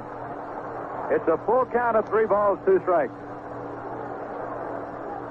The Mets infielders guarding the foul lines at first and third. The pitch. High foul ball off third into the stands. One big noticeable difference in this ballpark and the one in Oakland. The stands come out to within a few feet of the foul lines here at Shea Stadium, whereas in New York, the Oakland Coliseum uh, Stadium is like 120, 140 feet from the foul line. 3-2 pitch. Bourque hits a fly ball to right field, and it's pretty deep, but Staub is back on the warning track, reaching up and picking it off. He didn't get all of that one. So Pat Bourque is out number one here in the seventh inning, and now Jesus Alou comes on. Now Lou in this series, three hits and nine at bats. He hit 306 for the A's after he was picked up from the Houston Astros. Number 22, Jesus Alou. Well, the A's have had the Met outfielders doing a little running in the last couple of innings, and the Met bullpen goes to work now. Deron Johnson is out on deck as a possible pinch hitter for Jim Hunter. Jesus Alou, one of three Alou brothers to have played with the Oakland A's in the last three years. Felipe was the first. Last year in the World Series, Matty Alou, and now Jesus. David Winding, here's a pitch. Foul ball out of play, strike one. You really have to work at walking Jesus Alou. Harry Parker, a right-hander for the Mets, is in the bullpen.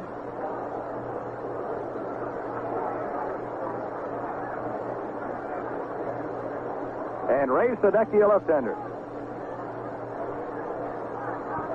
Here's a pitch to Alou. Curveball, bounce on the ground, deep shortstop to Bud Harrelson. He's got a good arm, and he shows it off by throwing him out. Two up, two down. Seaver has eliminated two of the A's top pinch hitters, and now here is the man who was the A's designated hitter this year and did quite a job. Deron Johnson for Oakland.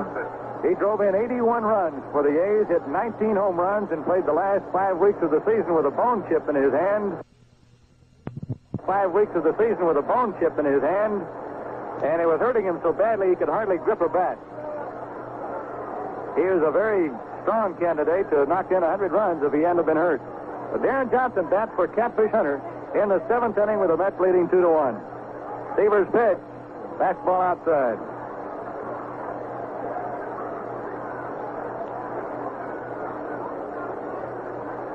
Seaver working quickly, comes to the plate with a curve and misses with it at two balls and no strikes. Johnson pinch hit in Sunday's long game out in Oakland. And got a double off the wall in left center field. He's one for one in the World Series. This, after 17 years in pro baseball, is his first World Series appearance. In there, a called strike. Deron took one right down the middle that time on 2 and 0. It is now 2 and 1. Seaver winding, kicking. Fastball thrown right by him, swinging, strike two. Tom Seaver, the ace of the Mets. Working with a 2 to 1 lead, throws to the plate. Strike three. Johnson takes the fastball, and Seaver cuts down three A's pinch hitters here in the seventh inning. The score of the Mets two and the A's one. Green, who was batted for by Alou, is out of the game, and Ted Kubiak is now at second base. And of course, Deron Johnson looked at a third called strike batting for Catfish Hunters, and that has brought on Darold Knowles to do the pitching. Knowles, who had to sit out last year's World Series because of a bad hand, has been in both games thus far and has an absolute perfect record, except he did commit a throwing error. Other than that, no runs, no hits, and no walks, and also no strikeouts. The left-hander, will be facing Staub, Jones, and Milner. Two of those three are left-handed. It's two to one in the seventh. The Mets got both of their runs in the first on the Garrett home run, back-to-back singles by Millan and Staub and a wild pitch. And of course, Tenace doubled in Bando in the sixth to make it two to one. Here's one. Rusty Staub going for the first Darold Knowles pitch. A slider out away from him is fouled off. It's strike one.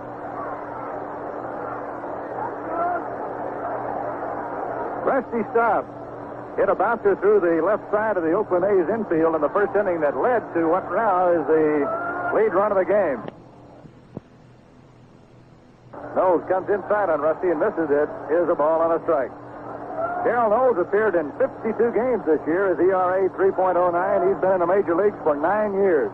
Most of that time spent with losing teams. Washington and Philadelphia. Staub fouls the pitch away. It's the ball and two strikes.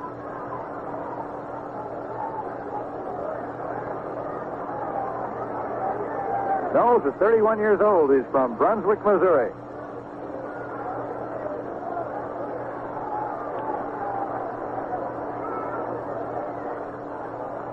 He has averaged pitching in over 50 games a year for eight years. That's a lot of work for a little guy.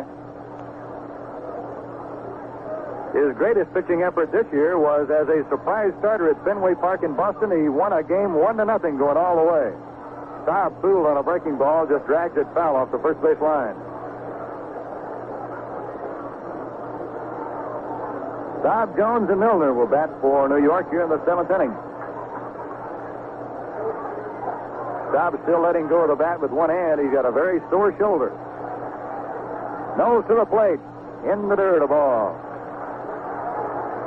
Pat Bourque stays in the game and plays first base for Oakland. Ted Kubiak at second. Gene Tenace now behind the plate. Fastball inside. That one had stop, but it missed the plate. Rusty was leaning a little bit, and Knowles just missed that inside corner, and Gene Tenace is arguing with the plate umpire, Jerry Neudecker. And this Met crowd is starting to say, let's go Mets. Little wind gust blows up here, and Staub backs off the plate. Rusty Staub's home runs in the playoffs were off left-handers of Cincinnati, Gullett, and Grimsley. 3-2 pitch. Little fly ball to left field. Joe Rudi came in. Now he's going back, and he's got it. And Staub hasn't pulled the ball tonight. One down in the seventh inning, and here's Cleon Jones. Left fielder Cleon Jones, number 21. Well, you hate to see the great stars, Jim, uh, not be 100% healthy, and Rusty Staub is certainly not 100%, but he's given 100% effort here. Well, Staub, of course, I think they took great solace from the fact that he singled the last time up out in Oakland. He's got an important base hit tonight, but as you said, he's not swinging the bat like he used to. Jones hitting a sharp grounder to Campaneris as he eats it up and throws over to first for the out.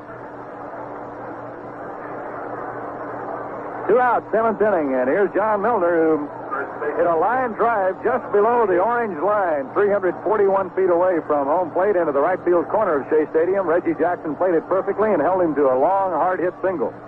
That was in the fifth inning.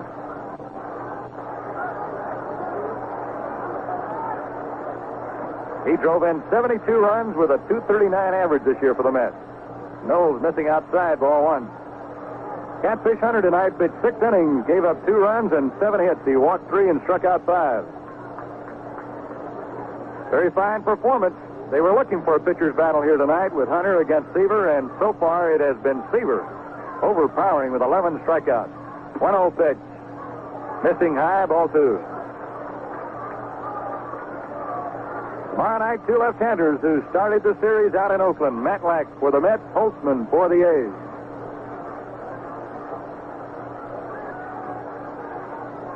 Those behind 2 0.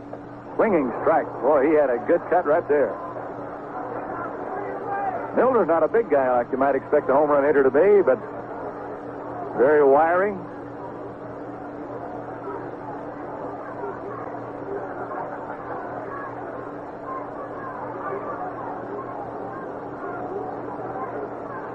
Gene Tenace hangs out a sign. Here's a 2 1 pitch.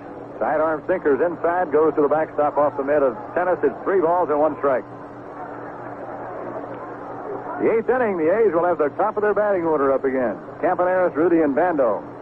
And if anybody gets on, Reggie Jackson. The A's leveled about four line drives in the sixth inning, two for doubles. Here's a pitch. Strike. Called. A beautiful pitch from Knowles.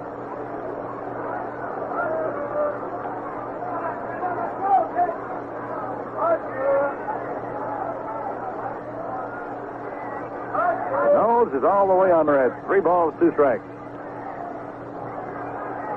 Here's the pitch. He lost him, ball four. And walks the left-handed batter, and now he's got a pitch to a right-hander who can hit the ball out of the park.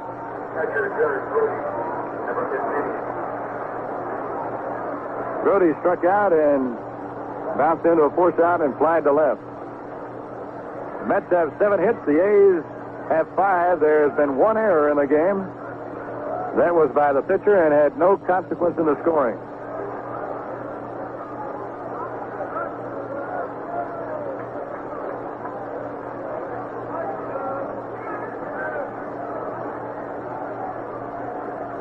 Jerry Grote, the Met catcher, cocks the bat. Knowles comes to the plate, and it's low for ball one.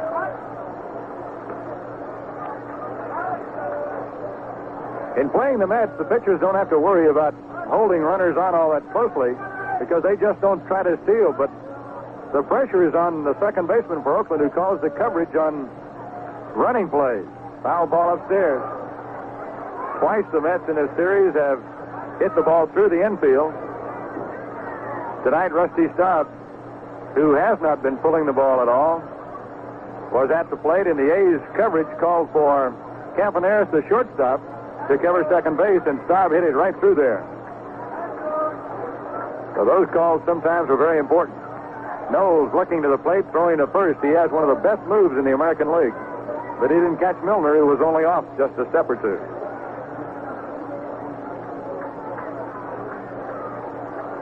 Paul Lindblad has joined Rollie Fingers in the Oakland bullpen. There's a bouncing ball to shortstop. Campaneris has got it. Throws over to second. Kubiak takes the fourth play on Milner to retire the side. After seven innings in New York, it's the Mets two and the A's one. Number three of the World Series, the Mets lead it two to one, getting both of their runs in the first inning. Came up with their one run in the sixth. Tom Seaver to face the top of the batting order. Campaneris, Rudi, and Bando. And here's the first pitch to Campaneris, hit on the ground to left field. The A's little road runner is on, and in a one-run ball game, that's the one man Seaver wanted off the bases the most. But there he is, perched on first base. Campaneris, who's led the American League in stolen bases five of the last six years, stole 34 for the A's this year, three in the playoffs, and two so far in the World Series. And the Met bullpen crew goes to work, headed by left-hander Tug McGraw.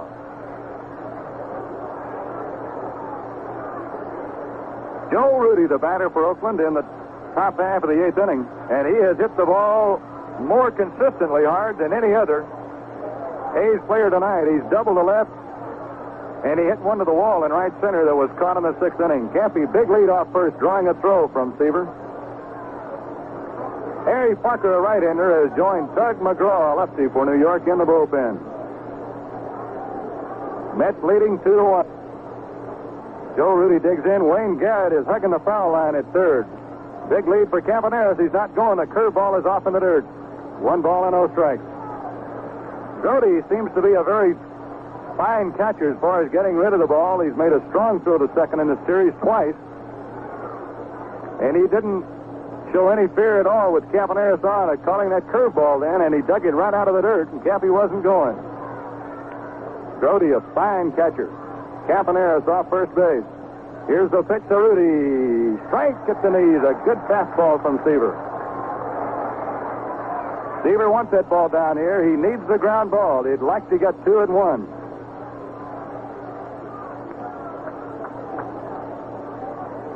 Mets giving up some ground to the left of the third baseman Garrett as he's trying to protect against the extra base hit.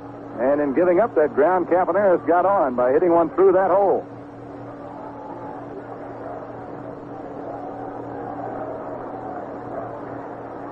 Seaver, easy throw over to first base, just reminding Campaneris he knows he's still there. Seaver drops down slowly to the waist. There goes Campaneris. The pitch is taken. Grote's throw to second is not in time. He steals it. What a throw that was. It was right on the bag. Campy Campaneris steals second base. And that one was really close, I'll tell you. Grote stepped right out in front of the plate and gunned one to second. The tag was made. It looked to be made a little behind the bag, maybe, or on top of it. Let's see it as we look at it on a television replay here, Jim. Well, the way it looks for me, and we'll look at it again here, Monty, looks like the call might have gone the A's way because there's the tag. We're looking at it awfully close. Looks like from this angle he got his right foot in. From the other angle, it looked like they had his left leg tagged before he got there. The important thing is he's there. And Joe Rudi's job now is to move him over. Here's the pitch. Rudi slants it to right pitch. Campaneris rounding second. He's coming in to score the tying run of the ball game. Joe Rudi shot one on the ground right by the first baseman, and Campaneris scores the tying run of the game with nobody down. Well, last year, Jim, in the World Series, there was a very important play at second base involving a Cincinnati Reds player. And all the replays showed that Campaneris missed the tag on him. The umpire called him out. They're going to be looking this replay over from different angles many times, trying to decide whether or not ref, umpire uh, Russ Goetz, the second base, made the correct call on Campaneris because it was a big one. Now here's Sal Bando. Nobody out. Eighth inning. Rudi on first. Bando's going to butt, and it's foul off the first base line.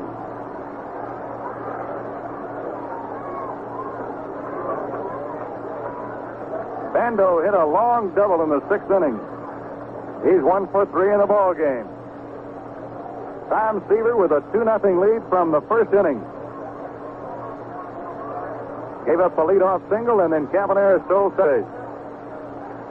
Pitch to Bando again. He's going to bunt, and it's a hard bunt to the first baseman. No play at second. He didn't even look. He throws the first for the out, and Jerry Grote, the mid catcher, is flinging his mask around in disgust. A left-handed throwing first baseman, Milner, I believe he had a play at second.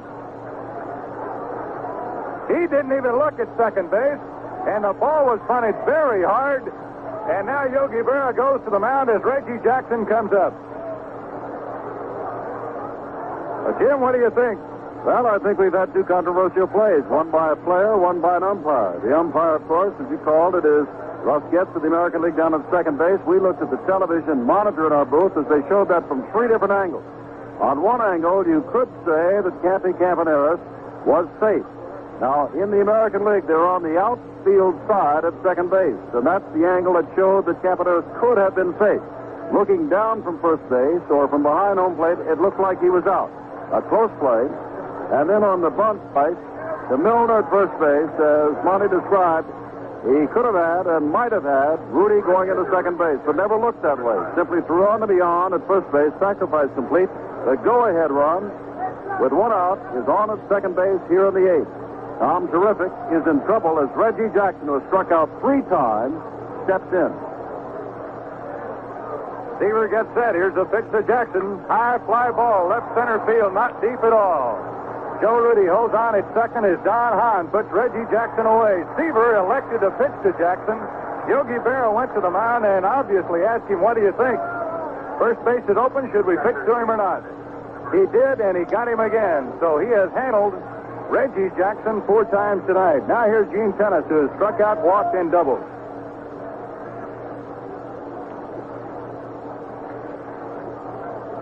Joe Rudi in scoring position at second base. We're in the top half of inning number eight, a great pitcher's battle. Tom Seaver against Jim Hunter, who has gone. The pitch to Tenace, curve, strike, gets caught.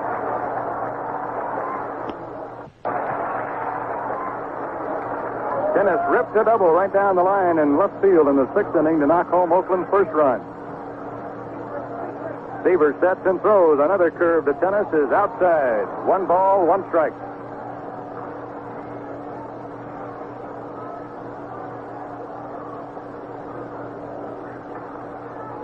Seaver looks at Rudi, throws to the plate. Curveball, swinging strike two, and he has thrown Gene Tenace three big breaking pitches in a row. Well, that last one was really a breaking ball that just snapped over that outside corner. Seaver grabs the ball. He set. He throws. Swinging strike three. He poured it right by him. A great fastball by Seaver. His 12th strikeout of the ball game, and it leaves the go-ahead run at second base. So the score in the middle of the eighth inning is Oakland 2 and New York 2. Now, Tom Seaver was never in trouble at all, with the exception of a two-out walk and infield single in the fourth inning until the sixth, when the Oakland A's went to work, and on a double by Bando and another by Tenace, made it two to one. And then, of course, at the top of the eighth inning, Campaneris, the man they wanted off the base, got a single, stole second, and Joe Rudi drove him home. And it's two to two, and Seaver has been reached. reached. And now it is Knowles against Seaver. And in the last of the eighth, it's Hahn, Harrelson, and Seaver. And here's Monty. Don Hahn got a double in the fourth inning. Darold Knowles' first pitch to Hahn is low and outside, ball one. Now the Met crowd gets into the act as everybody predicted they would. And it's a great crowd here in New York tonight. Probably around 55,000. The pitch on the way. Bouncing ball to deep short. Campaneris has got it. His throw to first is there in time. A little bit on the inside of the bag, but Pat Bourque took it. So one up, one down, and that brings up Bud Harrelson. He'll turn around and bat from the right side now. He's one footer tonight. Shortstop Bud Harrelson, number three.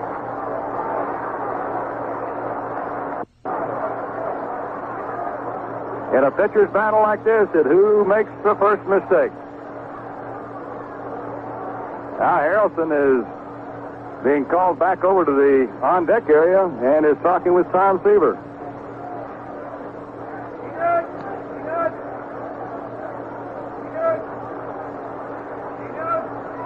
I don't know what that conversation could be. So you get on, I'll knock you in, you reckon? Bud Harrelson, whose home is right in the Bay Area, just a few miles away from the home of the Oakland A's. He lives in Hayward, California. He's ready now. Here's a pitch from Knowles, and it is a strike call. Oakland third baseman Sal Bando playing very close to the bag at third and close to the foul line. Ditto for the big first baseman, Pat Bourque. Knowles pitch to the plate, high fly ball off third base. Campaneris is going back. Joe Rudi's coming in. It's going to be Rudi making the catch. He's got it. Campaneris has a tremendous range out of the shortstop, going left or right. A big collision in a game in Oakland in the Baltimore series between him and an outfielder. Now they're two down, and Tom Seaver is due to bat, and they're going to pinch hit for him. So both aces are out of the game, Jim. And Jim Beauchamp, a fine pinch hitter for the New York Mets, is going to come on against the left-hander Darold Knowles. Beauchamp has been up twice before in the World Series and has failed to hit. Beauchamp, as the Mets go to their bench, Tom Seaver began to run in trouble late, giving up the tying run in the eighth inning. Those of you will remember that in the first game of the playoffs in Cincinnati, when he was matched against Jack Billingham, Seaver weakened only in the late innings, gave up the two long balls to Pete Rose and Johnny Bench, the two home runs that beat him. And now I'll turn to Yogi Fields or Tom Seaver Fields that it's time for him to get out. And with two out and nobody on, they have gone to a pinch hitter for Tom Seaver. And they have their left-hander in the bullpen. Tug McGraw is the only man left throwing, isn't it? Or is that Sadecki?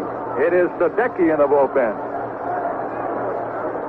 Beauchamp ready at the plate. Here's the pitch. Swinging, strike one. Knowles turned the fastball over on him. Beauchamp, Vinita, Oklahoma product. For the year at 279.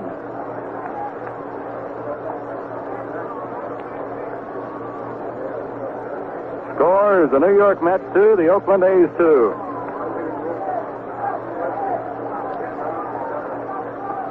Knowles it outside of all. Beauchamp is not a home run hitting type, though he's a big guy. He did not hit a home run for the Mets during the year. In the World Series so far, he is 0 for 2. Knowles winding. Here's the pitch. Swinging strike. One of the secrets of Darold Knowles' success is to get the batters to go for bad pitches, and Beauchamp just chased a sink, sinking fastball that looked to be out of the strike zone from here.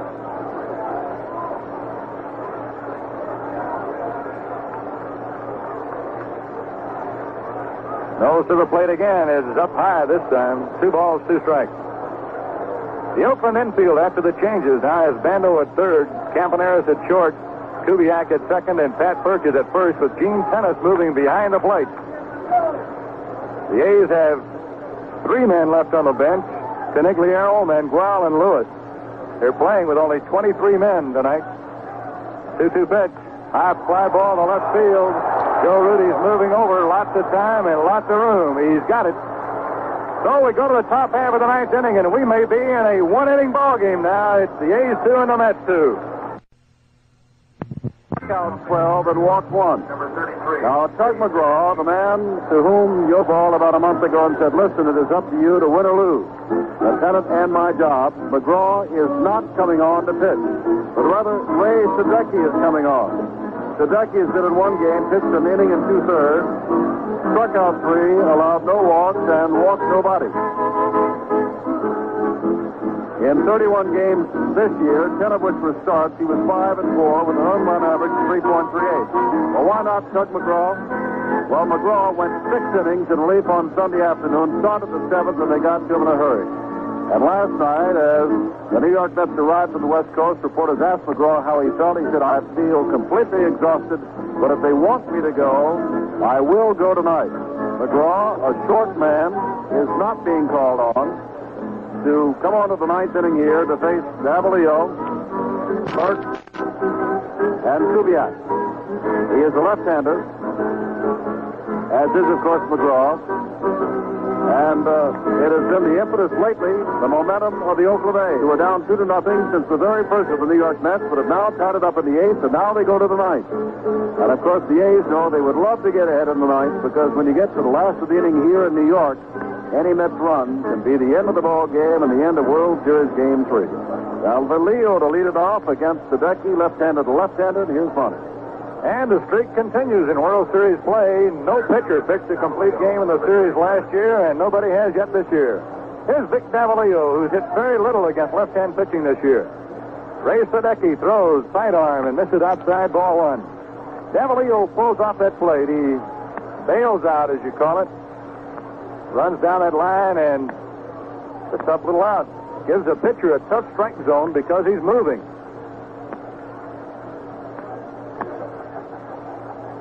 Sadecki popping to the plate again. Line drive off the glove of Millan and out into right field. That might be a base hit. Vic Davalillo, the little pro who came through in such magnificent fashion for the Oakland A's in the playoffs against Baltimore, one hard off the glove of Millan. That has a good chance of being a base hit. The scorers are working on it right now. They have three official scorers in World Series games. Pat Bourque is the man up now for the Oakland A's. They have given a base hit to Davalillo on the ball. Garrett looking for the bunt. The pitch is taken outside by Bourque. In order to move Davalillo down, he's almost going to have to bunt the ball to the first base side. Because Wayne Garrett, the Met third baseman, is going to be right up in Bourque's face with the time the pitch gets to the plate.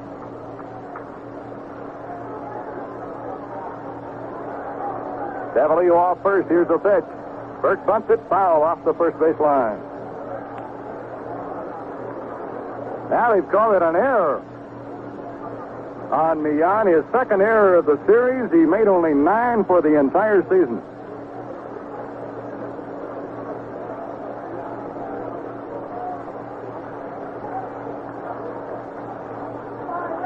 Pat Bourque at the plate with a count of one ball and one strike. Ray Sadecki set. Here's the pitch.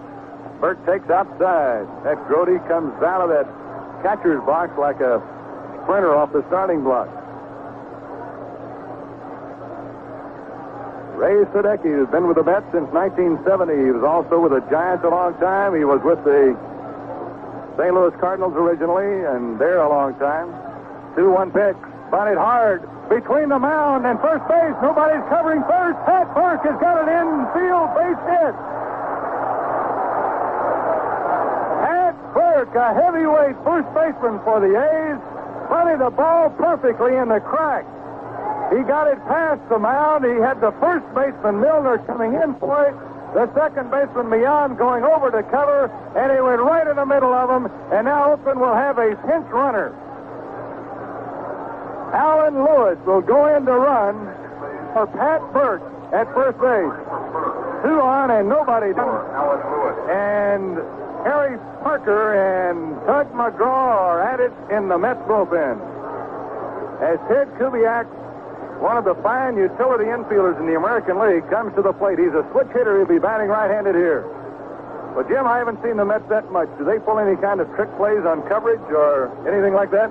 No, the New York Mets play things pretty straight. They wait for the big inning offensively. On on defense, they seldom do that. But Yogi Berra's going to come out. The one thing I noticed, Monty, and we can check after the game, but it was just an observation.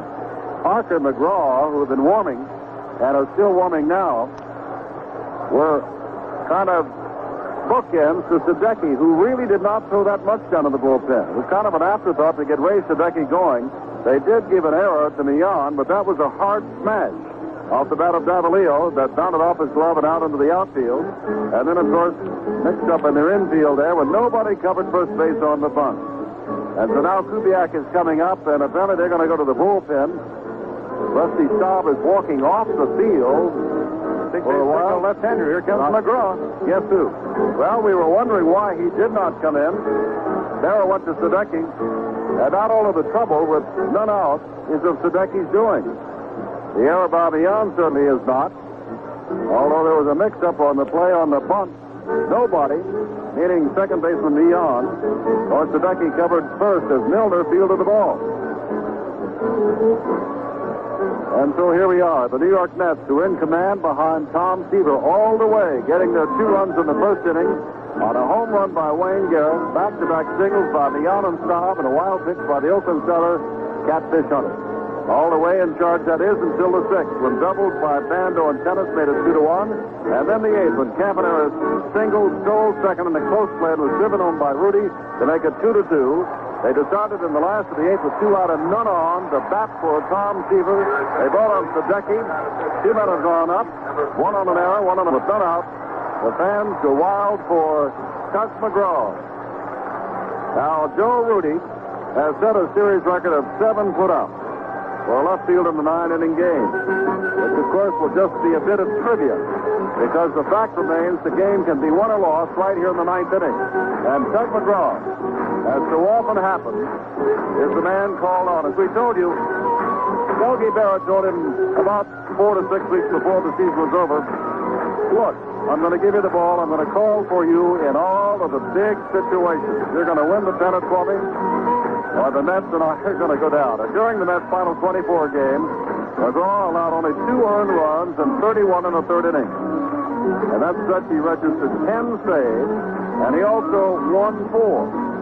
Now the 10 to 7 game on Sunday afternoon, started the sixth and worked six innings, giving up three runs, seven hits. He struck out six and walked one. It was not a superior start, and he later got trouble. In the twelfth, when he gave up a triple to Jackson and walked Tenace, and that was the end of him there. As we said, he said, I'm exhausted, but I'll be ready tonight if they need me. Now, he's been in both of the previous games and worked eight innings the total that Tom Seaver worked tonight. And overall, he has won one and lost none, given up six hits, four runs, four walks, and non-strikeouts.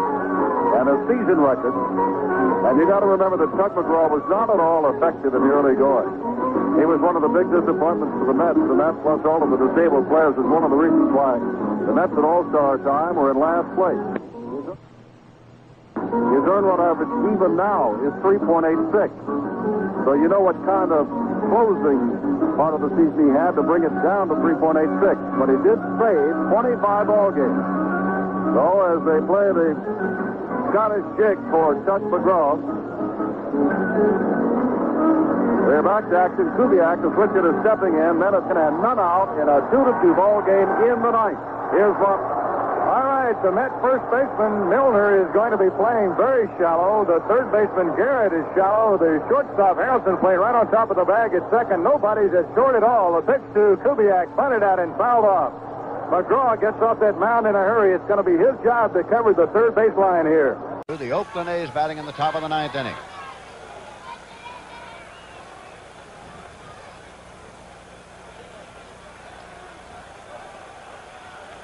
McGraw, good fielder, Lindsey? Yes. Low. You might have seen how McGraw broke over to third base, the place that Kubiak will probably try and bunt the ball, trying to protect that line so that Garrett can stay on third base and they can force that runner.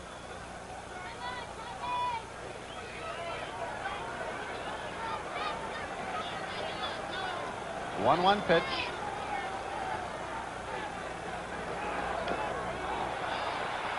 Fouled off. One and two. Runners at second and at first.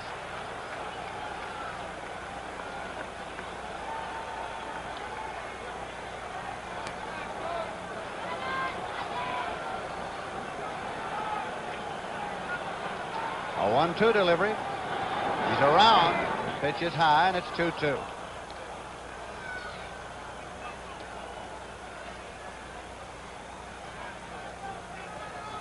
Kubiak getting his information now to see if he's bunting all the way. Apparently was on that pitch.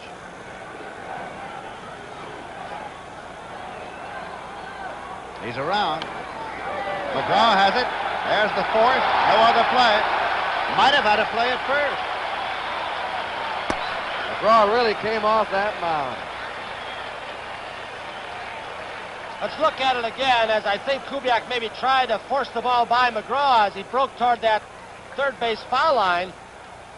Garrett, as you said, Lindsey, might have had a play, except he did not have good possession of the ball. The ball got stuck in his webbing. Let's watch Tug again. He really broke off the mound, but not a very good bunt. Two strikes. He was just trying to hit the ball somewhere in fair territory. So now there's one out. Runners first and second. Angel Mangual is coming up now to bat for Darold Knowles. 0 for 2 in the series, 1 for 9 in the playoffs. During the season, hit 224, three homers, 13 runs batted in. Angel Mangual. Score tied 2-2. The A's batting in the top of the ninth inning. Lewis the runner at second now. Kubiak's the runner at first.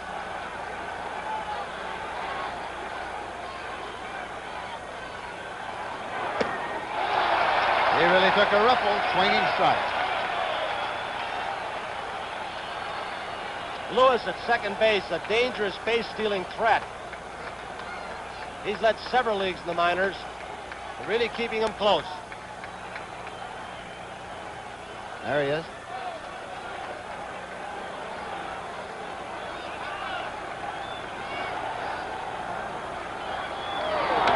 Foul it back. It's two strikes. With Knowles out of the ball game, Paul Lindblad is throwing in the bullpen for the Oakland A's.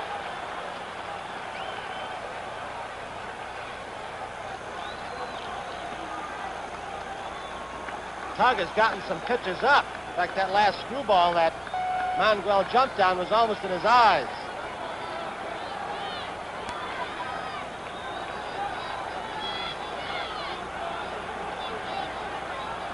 Runners at first and second, an 0-2 pitch. Steps off.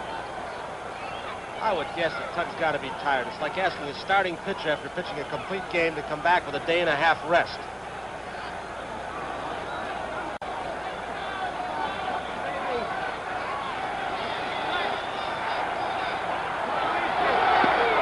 He's called out on strike.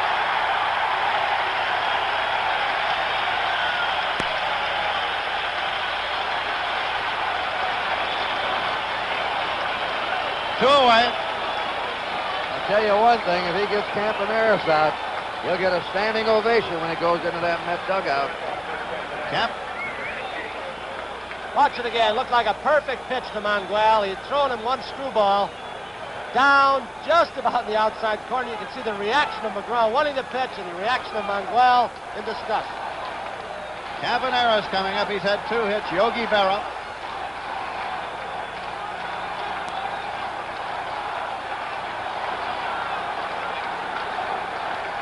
Dick Williams.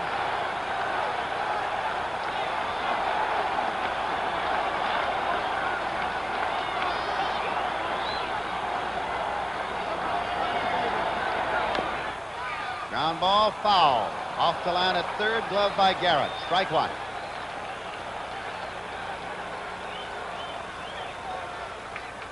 McGraw in game two, who caromed the ball off Campaneris' helmet. Two strikes on him.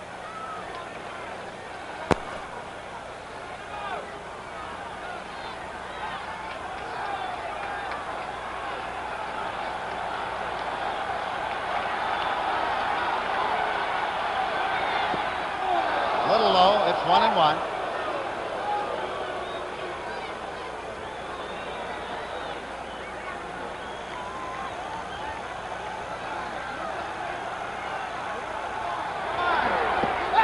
Swinging strike, one and two. This is Yogi Berra.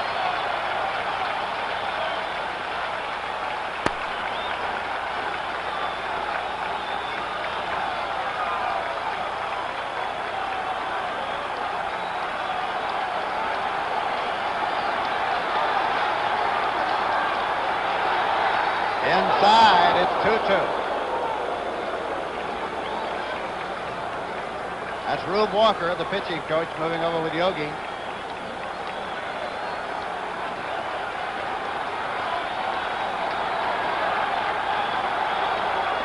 McGraw stepped off. He wants the signs again from Grote.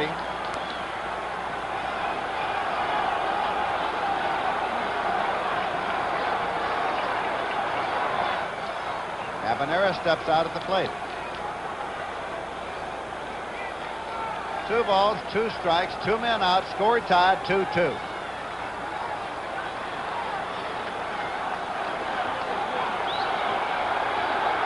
Two-two delivery. Inside.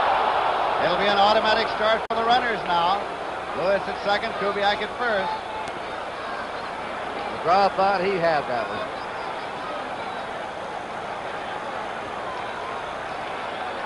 The runners will be moving on the pitch. In the air to center. Don Hahn is there. Listen to the ovation now for Tug McGraw. No run. A hit, an error, and two men left. And in the middle of the ninth inning, the score is tied. Oakland two and the Mets two.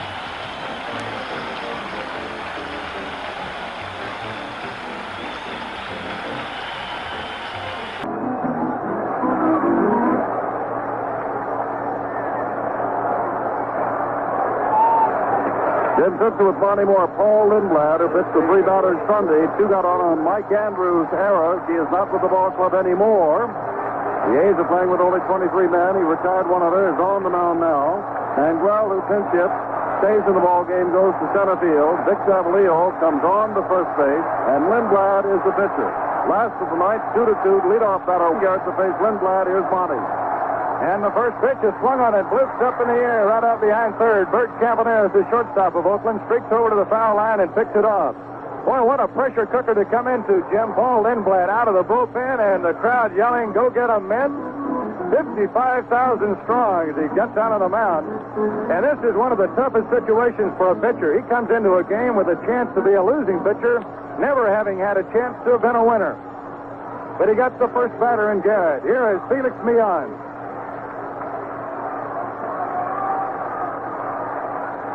Millan has singled twice and lined out hard twice. Once to short, once to center.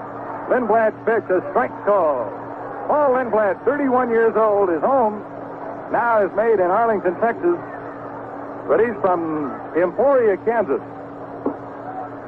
Lindy's pitch to Millan is outside of ball. Lindblad appeared in 36 games for the A's this year, 33 in relief. Seven years in the major leagues. He's pitched in 374 ball games before this year, and he's the major league record holder in most games appeared in by a pitcher without making an error. Fastball swung on and fouled down, and it hit the A's catcher Gene Tenace and knocked him over. Tenace still down, Monty, and as he goes down, we're reminded what we've been keeping track of. Billy Conigliaro is the only other man aside from pitchers that are available to the Oakland A's. If Tenace is out of there, they're in a real problem because they now must take Tenace out. Conigliaro is the only man that's going to be able to come in, and they'd have to go to someone else to do the catching. And let's go back to the Mike Andrews two-error situation in Sunday's second game. The team physician said yesterday that Andrews needed work on his arm and sent him home and retired him for the rest of the World Series. There are those who have said that no, that is not the case. Andrews was simply fired by the Oakland A's management. The Oakland A's applied to the commissioner's office to be allowed to reinstate Manny Trillo reserve Andrews. The commissioner has said no, Trio cannot suit up. They can suit up Mike Andrews, but the A's say they can't find him. Tenace is up now and apparently will remain in the game. But the sum and substance is that there are only 23 players on the A's active roster for this game, and they're down to one more man that can play in the field. Other than that, they've got Blue and Holtzman starting pitchers. Fingers, Senior Odom left in the uh, bullpen.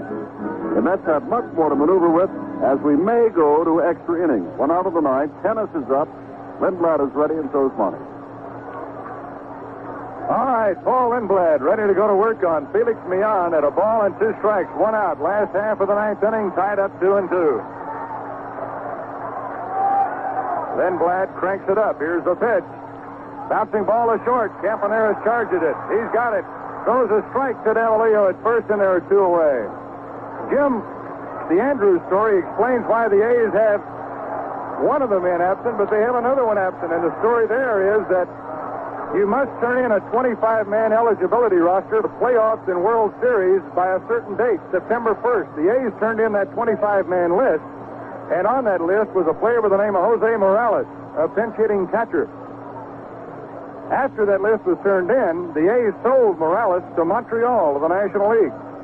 And then in the playoffs, got permission to replace Morales with another player.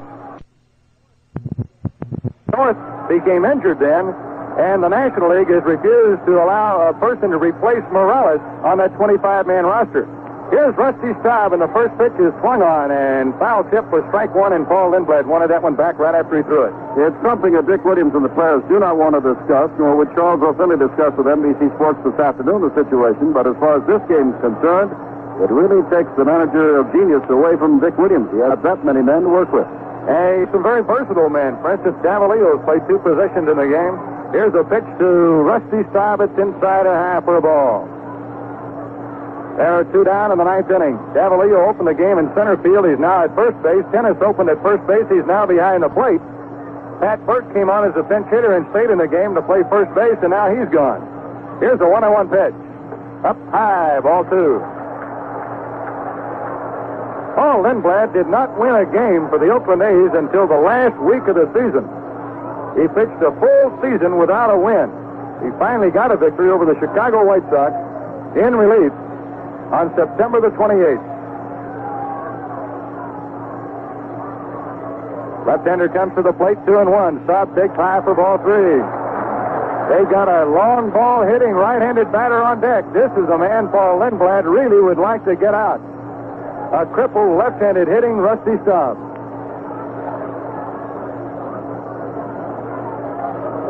Here's a 3-1 pitch. Strike call. It's 3 and 2. Lindblad's basic pitches a fastball and a slider. And once in a while, he'll throw a changeup, which he developed this year.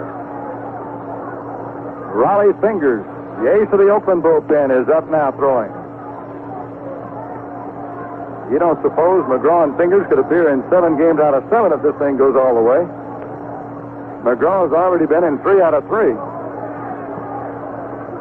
3-2 pitch to Staub. Popped up behind the plate, but it's near the stand. Tenace is chasing it over there. It's going to land in the feet. Staub is still alive. Lindblad still has to throw another strike.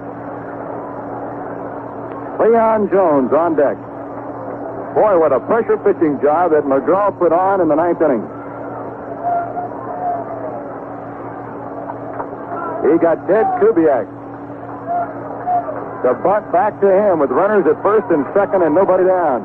They got force play at third. Then Mangual took a call third strike on a surprise fastball. Here's a 3-2. Line drive, left center field, hit well. Joe Rudi's not going to get to this one. It's going to go to the fence. It takes one hop and goes over the wall, and Rusty Staub has got a ground rule double. A base hit now, and the New York Mets could win it. You begin to wonder now and look for Dick Williams to come out. Rollie Fingers is warming up. Lindblad left-hander. Cleon Jones, two upper right-handed.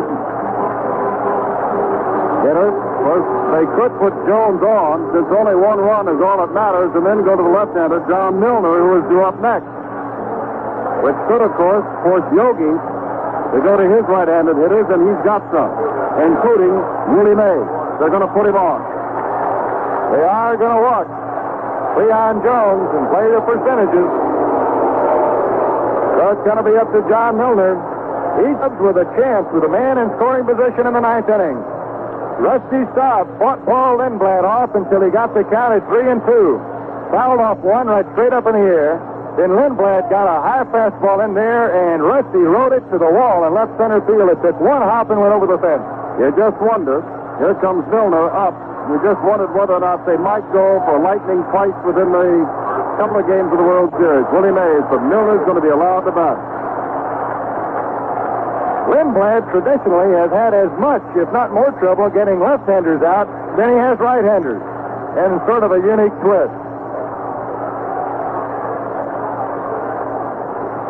Dick Williams is calling the plate umpire, Jerry Neudecker, over to the dugout.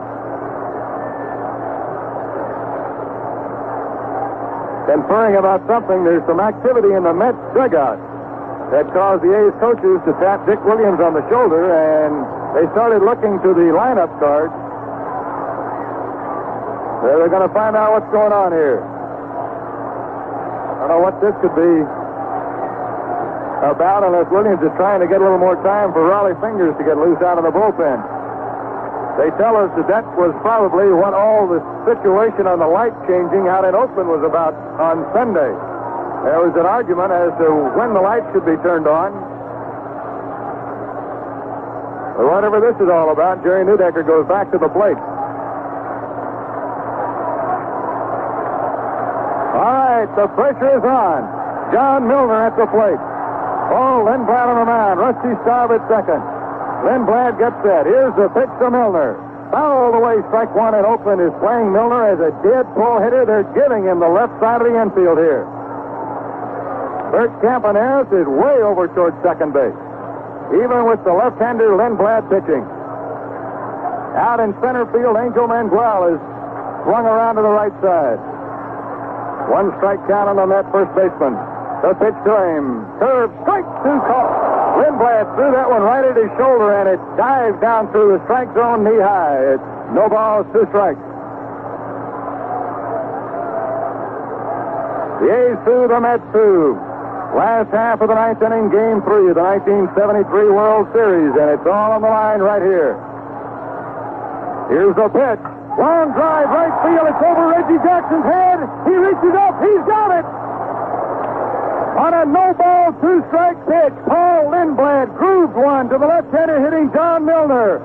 And he struck that ball hard to right. Jackson went on the run and picked it off. We've got extra innings in game three. And the score is the Oakland A's two, the New York Mets two. World Series that is captivating the nation in record numbers. We are going into the 10th inning with Tug McGraw against the top of the Oakland A's batting order, just beyond Campaneris. So far in the game, here's what happened in scoring. The Mets' Wayne Garrett started the game with a home run off Catfish Hunter. Millan got on with a single, and they got him around. He scored on a wild pitch, and that's the last scoring for the Mets. Catfish Hunter went six innings, no two. Oakland got their first run off Tom Seaver in the sixth on a double by Bando and a following double by Tenace. They tied the game in the eighth inning on a single, a stolen base by Campaneris, and a single by Rudi. Here we go to the tenth inning, and Tug McGraw against Joe Rudi, and once again, Jim Simpson. All right, Monty. Rudi is two for four, plus sending Hahn deep, almost 400 feet away to haul in his long drive back in the sixth inning. Rudi has driven in the run of this game.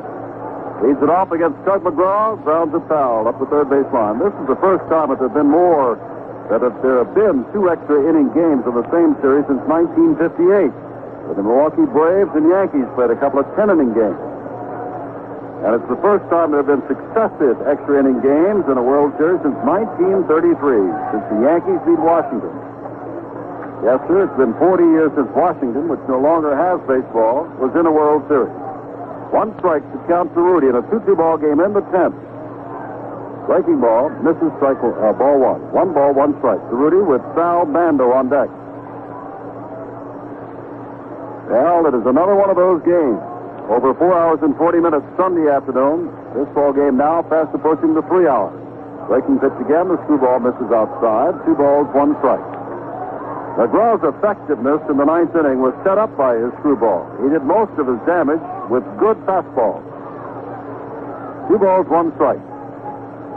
McGraw already in the tenth. Two runs, eight hits, and one error for both teams. Tug is back with another screwball that misses up high, and it's three and one.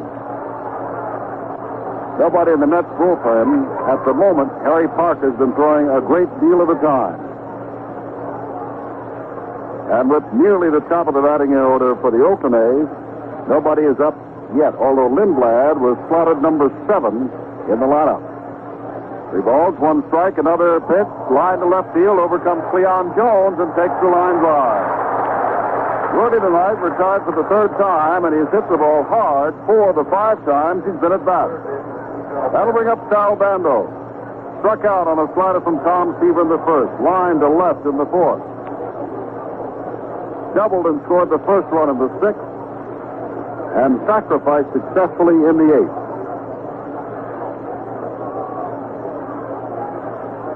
Tug McGraw, the left-hander, throws him a screwball. Swinging strike. Strike one. Out on deck is Reggie Jackson, who hasn't had it that good. Three strikeouts and a short fly to center field with men on base. Back again, long drive down into the corner, along the left field line. Over goes Jones. It is a fair ball off the wall. Jones has it on one hop. Bando trips going around and goes into second base.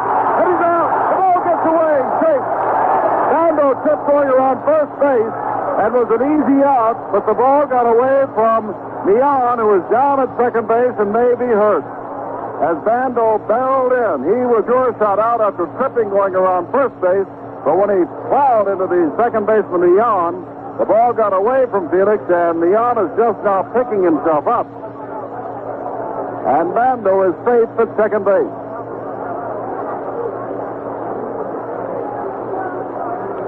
Bando may be hurt too. He's limping around a little bit, Jim.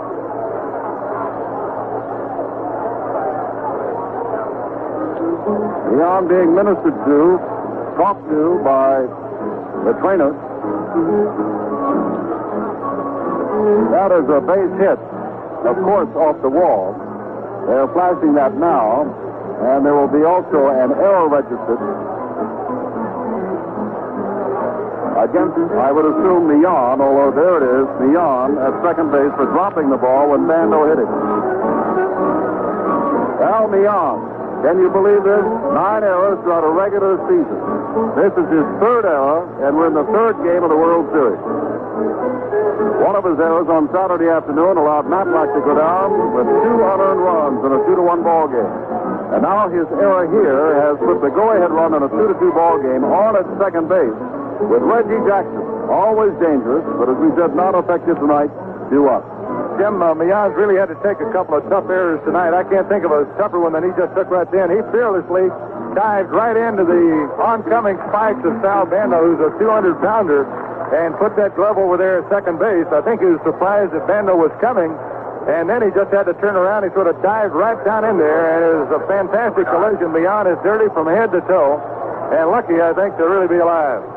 Here is Reggie Jackson. Struck out three times against Tom Seaver before flying to short center field with a man in scoring position in the eighth inning.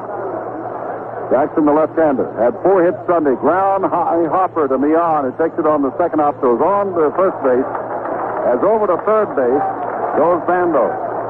Jackson retired again, swinging on the first pitch as he did in the eighth, and he flied to short center. And that'll bring it up to Gene Tenace, who was one for three plus a walk. His double drove in Bando in the sixth inning. And Tenace in the top half of this inning, I should say in the lower half of the ninth inning, really was hit on a swinging foul and went to the dirt, and there was some question whether or not he would return. Gilgy's going to let uh, McGraw make a decision here, probably whether to pitch to Tenace, the right-hand batter, or Davalillo, a left-hander. Now the decisions are made, Monty, because Berra's coming back. Grote starts back and now returns to McGraw as Harrelson goes out to shortstop. They've got two out in the Oakland 10th. And it's two to two. I tell you what, I guess a lot of people have to go to work tomorrow. We've got a lot of people have left Shea Stadium. It was jam packed, and most of the upper deck, at least down the right field line, has cleared out in a two to two ball game in the 10th. McGraw apparently is going to pitch to Gene Tenace with a go-ahead run at third base. A high ball one. Now, naturally, Millan keeps cutting over behind the pitcher, Tug McGraw, on the return throw by Grote. in case he gets by him to cut off Bando trying to come in from third base. McGraw ready again and throws down low. Held on to by Grote. Could be that they're going to pitch Tenace very carefully, and if they must put him on, they will. Now they're going to after 2 0. Here's 3 0 as they will walk him intensely. Trying to get Tenace to go for a bad pitch when he would not, and the count went to 2 0. They simply decided, let's put him on. Bando's over at third base.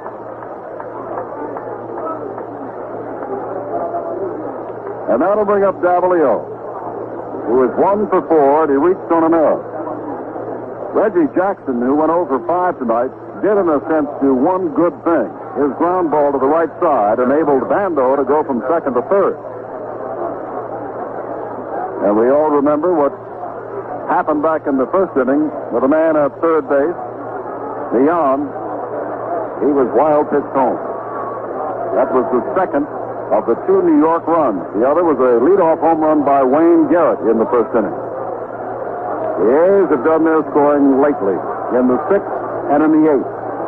Here is Davalillo, a little left-hander who takes that step, who bails out as Monty describes, who runs up the line as he swings. First pitch, strike on the outside corner. Davalillo back in the ninth inning lined a shot on one hop off Millan's glove, and it rolled out into right field, and they gave Millan his second error of the series on that play. And now in the very next inning, and Bando bells into him, Millan draws his third. He's already pitching from the stretch, throws a screwball, drive high, right field, Staub comes in. This should be it. McGraw's heading for the dugout. Staub, grabs it, one hand. No run, one hit, one error, and two men left. We go to the last tenth, and we're all caught up in game number three. It's two to two. And Jerry Grote, 0 for 4 tonight. Gets in. Right-handed, hitting catcher, five defensive player against Paul Lindblad, who is the third Oakland pitcher tonight, coming on in the ninth inning, getting a little trouble after two out, but getting out of it as Milner sent a sinking line drive. There's the ground ball towards second. Kubiak up with it. Sidearms it over to first, and there's one out in the New York 10th. Grote hitting the first pitch from Paul Lindblad. Don Hahn, one for four tonight, has hit the ball twice very hard. His first two times up. He lined to Rudi and left in the first, and then followed with a double in the fourth. Inside the bag at third base. Since then, he's been retired on an easy fly ball to left and a ground to the Campaneris at shortstop. Cappy has shown us tonight that he, like Harrelson, fine fielding shortstop. Of the premier fielding shortstops in baseball playing in the World Series of 73. Lindblad, the left-hander, throws the fastball. It misses. It's ball one. Well, the team that wins have the obvious edge. Tomorrow night, Jon Matlack for New York and Holtzman for the Oakland A's. Rematch of the opening day assignment. Ground ball right side. Kubiak there has another shot and throws on to Davalillo, the first baseman. And that's two down. Both on easy ground balls. Kubiak at second base. And that'll bring up Harrelson. It was three for eight, getting three base hits on Sunday, and he is one to four tonight. A single in the sixth inning that almost took Catfish Hunter's head off and glove off, right back to the box. Oakland two, New York two, last of the tenth, game three of the World Series. McGraw in a jacket walks out on deck. Nobody throwing in either bullpen. Lindblad is ready and throws. Strike on the outside corner. Harrelson bunted through the ball, and this is the first time we've seen Bud tonight batting from the right side. Going against the left-hander. That. This is the second time. Knowles also had him swing around to the right side of the plate. One of the quick hitters in the ball game. Kubiak, who's retired two-man here in the 10th, is another one. One ball, one strike to help.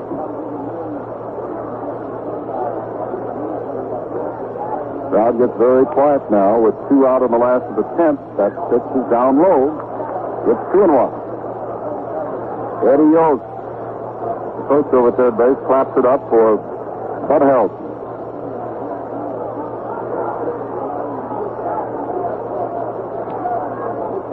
Harrelson a better hitter for average from the right side, where he is now. Grounds this one past Yost, the coach at third.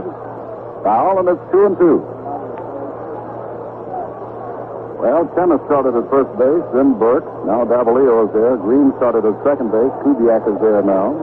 Davalillo started in center. Mangual is there now. Fosse was the catcher. He's out of the game. Tenace is there. As Dick Williams continues to maneuver with not much room left to maneuver more.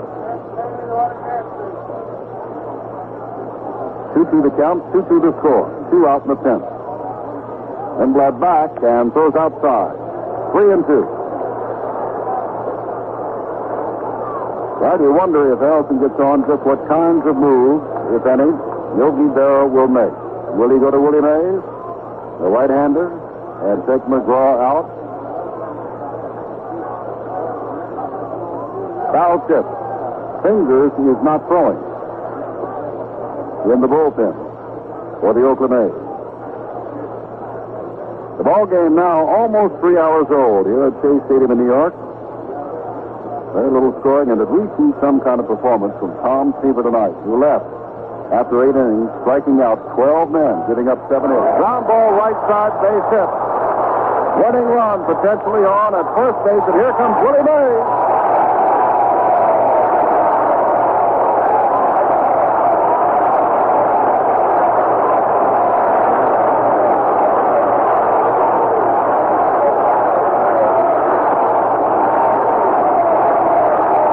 Willie Mays, 42 years old, started as a rookie in 1951 and with the New York Giants went all the way to the World Series, closing out his career here in 1973.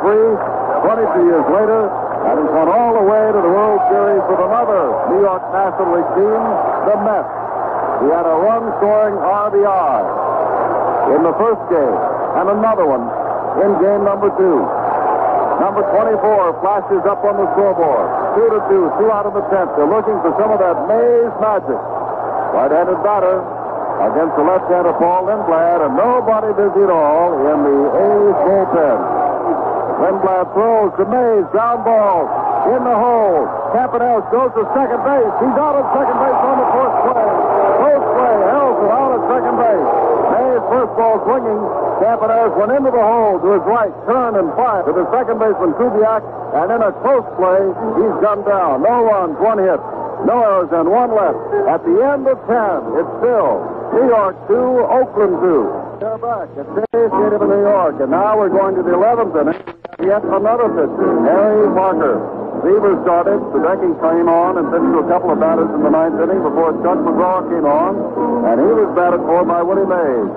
And now Parker, a right-hander who has been in one game, pitched an inning, gave up one hit and no run, is on for his second World Series appearance. Let's pause as he warms up 30 seconds for station identification. Terry Parker and here's Monte Moore. Harry Parker won eight games and lost four for the Mets this year with an ERA of 3.34. Paul Lindblad, left-hand batter, ready. Here's a pitch to him, and it's outside ball one.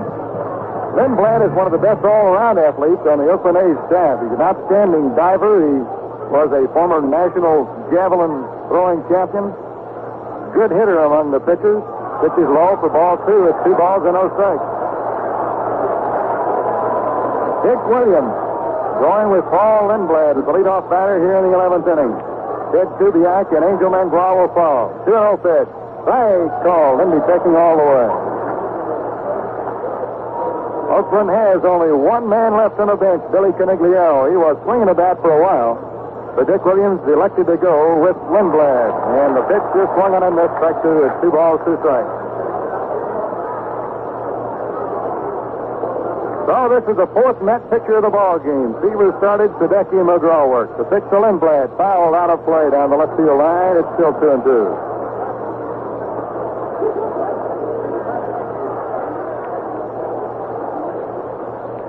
Well, they said the Mets haven't done it easy all year, and the A's have sort of had a saying on their ball club all year long. They don't win them easy, and they don't lose them easy.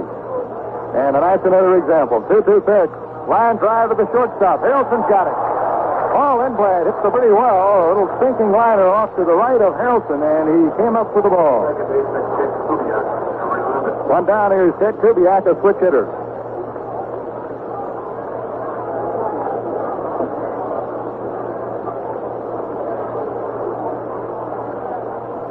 Dick Williams has used four pinch hitters in the game. Here's the pitch to Kubiak, and it's inside for ball one. Pat Bourque, Jesus Alou, Deron Johnson, and Angel Mangual have all come up as pinch hitters. Yogi Berra's used two, Bishop and Mays. There's ball two to Kubiak. Two balls and no strikes. Both the Mets and the A's had runners in scoring position in the ninth inning and couldn't get them across, and both men had, both teams had a man on in the 10th inning. Oakland had two on. Pitch is high, ball three to Kubiak.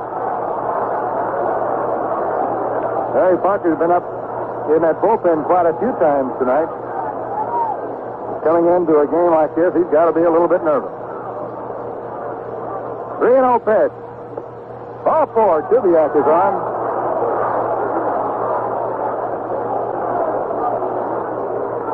That's only the third Oakland A's player to receive a free pick at the first tonight. McGraw walked one. That was intentional. Seaver walked one. And now here's Angel Mangual. The Oakland center fielder who came on to pinch hit for Darold Knowles in the ninth inning and took a call third strike.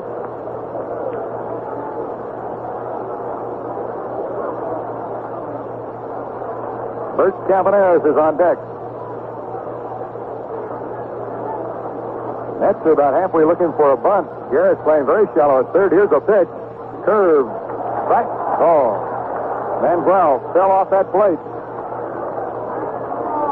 Ball turned a corner and went right down through the strike zone. It's no balls, one strike. Mangual is liable to hit the ball anywhere. The Mets claim to hit it to right center. He has good power. He hasn't played much for Oakland this year. He ended up being the number three center fielder.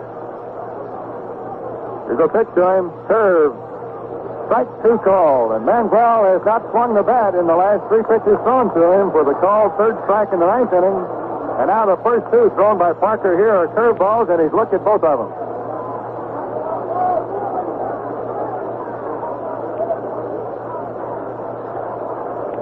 Milner holding against Kubiak. Parker throws. Fastball just missing.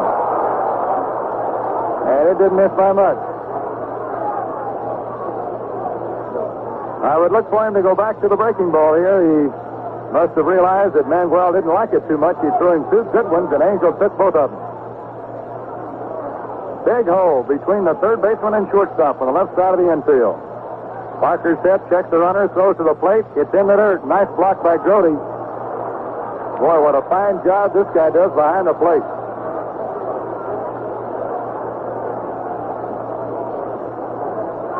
One of the great pleasures of working a World Series is being able to see that players from the other league that you only hear about during the season. Parker 2 2. Delivers. Fastball, swing, and a miss. Third strike. The catcher drops the ball. Mangual goes to first, and Kubiak goes to second. Parker struck out Mangual and Grote, whom we've just been talking about his defense, didn't handle the third strike. He tried to catch the ball one-handed, and now they're saying that it was a foul. Oh, oh, he's out. He couldn't run to first base. Mangual took off to first. With a runner on at first, he couldn't run. But Kubiak is able to advance to second base. But out Campaneris bats. A runner at second base. Campy came up in the ninth inning with two men on. And McGraw got him on a screwball to pop up to center field. Buzz Capra starts throwing in the Met bullpen. Two down. Kubiak off second. The pitch to Campaneris to the curve outside, ball one. That is 14 Oakland A's batters to strike out in this ball game. Seaver got 12 of them. Campaneris ready for the 1 0 pitch. Strike, whistling right through there. 1 and 1.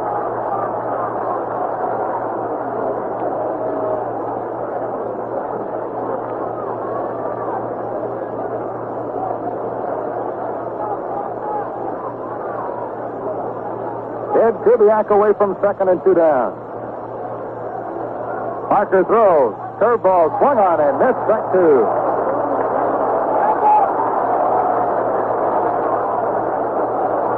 Boy, I tell you, the suspense in this ball game has been there. For a 2-2 game, there have been a lot of runners in scoring position. Parker's ahead of Campaneris at a ball and two strikes. Here comes the pitch. Curveball foul off the right field line.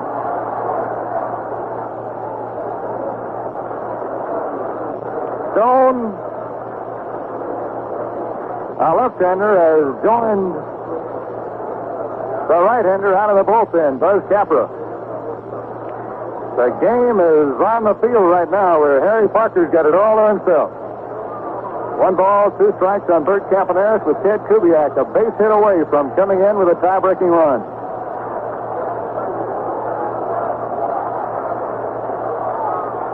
Crowd buzzing. They've been out on the edges of their seats for about two hours here. The pitch. Inside the Campaneris. Two balls, two strikes.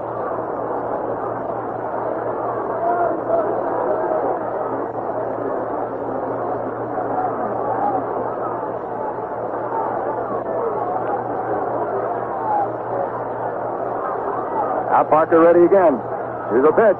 Line drive, left center field, base hit. Ed Kubiak rounding third. He's coming home. Here comes the throw, and Campaneris goes all the way to second, and they cut it off and throw it to second to get him, but the run does score. Garrett cut the ball off at the pitcher's mound and threw to second to get Campaneris, but his base hit did score Ted Kubiak before they got him. So Oakland has broken the tie. It's the A's three and the Mets two. Well, I don't think we have to spell it out for the Monte in the last of the 11th inning. Paul Lindblad gets the job done against three of the toughest hitters in the New York Mets lineup. It is the Oakland A's who will take a two games to one lead. But then, who knows? 11th inning, here's Monte. Wayne Garrett, the leadoff man against Paul Lindblad, a check swing liner right through the box in the center field, a base hit. Wayne Garrett keeps the Mets alive. He tried to stop his swing on a breaking ball up high and landed right over the pitcher's head into center field. So the Mets have the tying run on, and here's Felix Millan, who really can handle that bat. So Wayne Garrett, who has been tough on Oakland the entire series, has opened up a door in inning number 11. And Rollie Fingers is going to be called in out of the Oakland bullpen possibly here. He's throwing hard, and Dick Williams is going to the mound to talk to Paul Lindblad.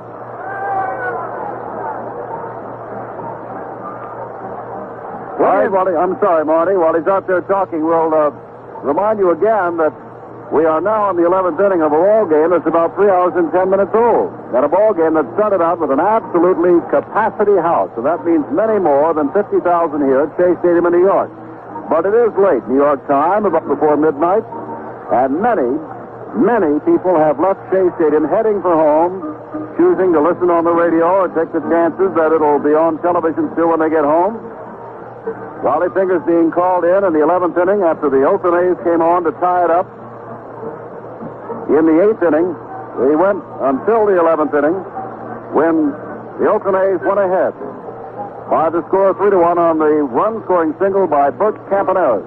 His third hit of the night. Campaneris has been something else. As a matter of fact, his second hit of the night. After that, he stole second and came home with a tying run on Rudi's base hit in the 8th inning. Now in the 11th inning, he started everything by driving in the go-ahead run, Ted Kubiak. But now in the last of the 11th inning, Garrett, as described by Monte, just simply tried to check a swing against a breaking pitch that was well out of the strike zone.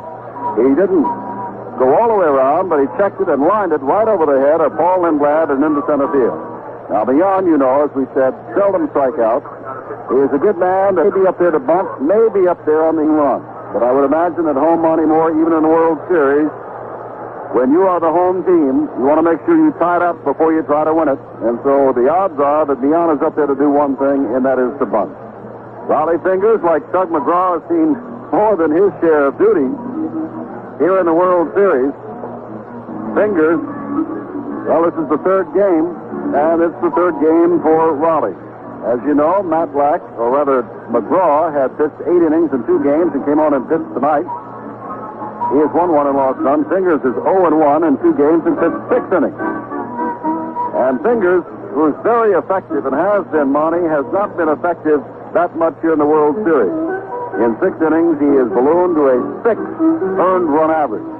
Rollie Fingers is a very strong right-hander, and my last recollection of Rollie, before the errors by Mike Andrews was at second base, when he threw a very good pitch to Willie Mays, only to have him grounded on one hop, bounced it over his head into center field for a run-tying RBI single, and Rollie simply threw his glove up in the air. He's got a chance to redeem himself now. The A's are out in front, three to two, but the tying run is on at first base with none out. Fingers is ready, Millan is ready, and Monte is ready. All right. Felix Millan, tough little right-handed batter. Fingers pitched three and a third innings the first time out, two and two thirds the next, and here he goes to work. Garrett off first base. Davalillo holding against him and ready to go into the plate. Here's the pitch. Millan squares around, bunts it hard to the first base side. Davalillo's got it, tags out Millan, and now the Mets have the tying runner in scoring position with one out. And they have Rusty Staub and Cleon Jones, two of their big hitters, that try to knock in that go-ahead run. Leon, a good bunt. Move Garrett in. And here comes Wes Stock out to Dr. Rollie Fingers now. Rusty Staub's had two hits in this game. One a bouncer through the left side of the infield, the other a double to left center field that took one hop and bounced over the fence for a ground rule double. So the Mets are hit away from tying the ball game. A pass ball by usually very reliable Jerry Grote allowed Ted Kubiak to get into scoring position in the top of the 11th inning after Mangual struck out. And then Campaneris knocked him in. Now the Mets get a break on a check swing single, and the sacrifices leave their man up, and here's Rusty Staub. Fingers come to the plate. Hard step in there. Called strike. A's outfielders poised and ready to throw if they got that ball. Rudi in left, Mangual in center, Jackson in right. They all have strong arms. Here's the pitch to Staub. Popped up. Center field. Angel Mangual is back under the ball. He makes the catch, and there are two down. Now, Cleon Jones comes up. Jones, the hottest hitter for the Mets. During their stretch to the pennant in the night, has in this ball game gone 0 for 4 with a walk. And the big hitters in this game, Jackson and Jones, have been stopped completely tonight, Jim. Well, there's signs everywhere, Monte, that say you gotta believe. But obviously, hundreds and thousands of Met fans do not believe. The tying run is down there at second base, and Cleon Jones, we described as quite a hitter. Although he's hitless tonight, but he came in as the top man in base hits in the World Series with five. All he has to do is get one, and we got a three to three ball game. But some of the you gotta believers don't believe and are heading for the exit.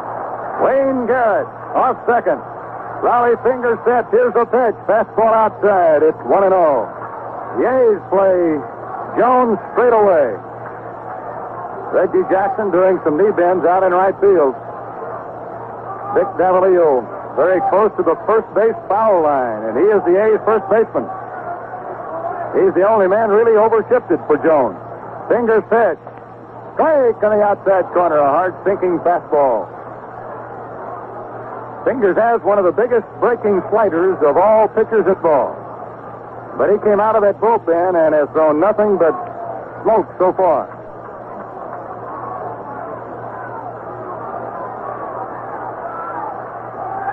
Garrett leads away. Fingers feels a glance at him. Comes to the plate. Just missed outside. Two balls and a strike.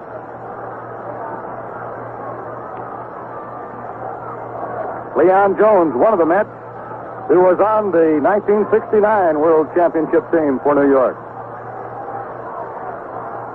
He cocks the bat, Fingers ready. Here's the pitch. Fastball swung on late and fouled up into the crowd right over the top of the Met dugout.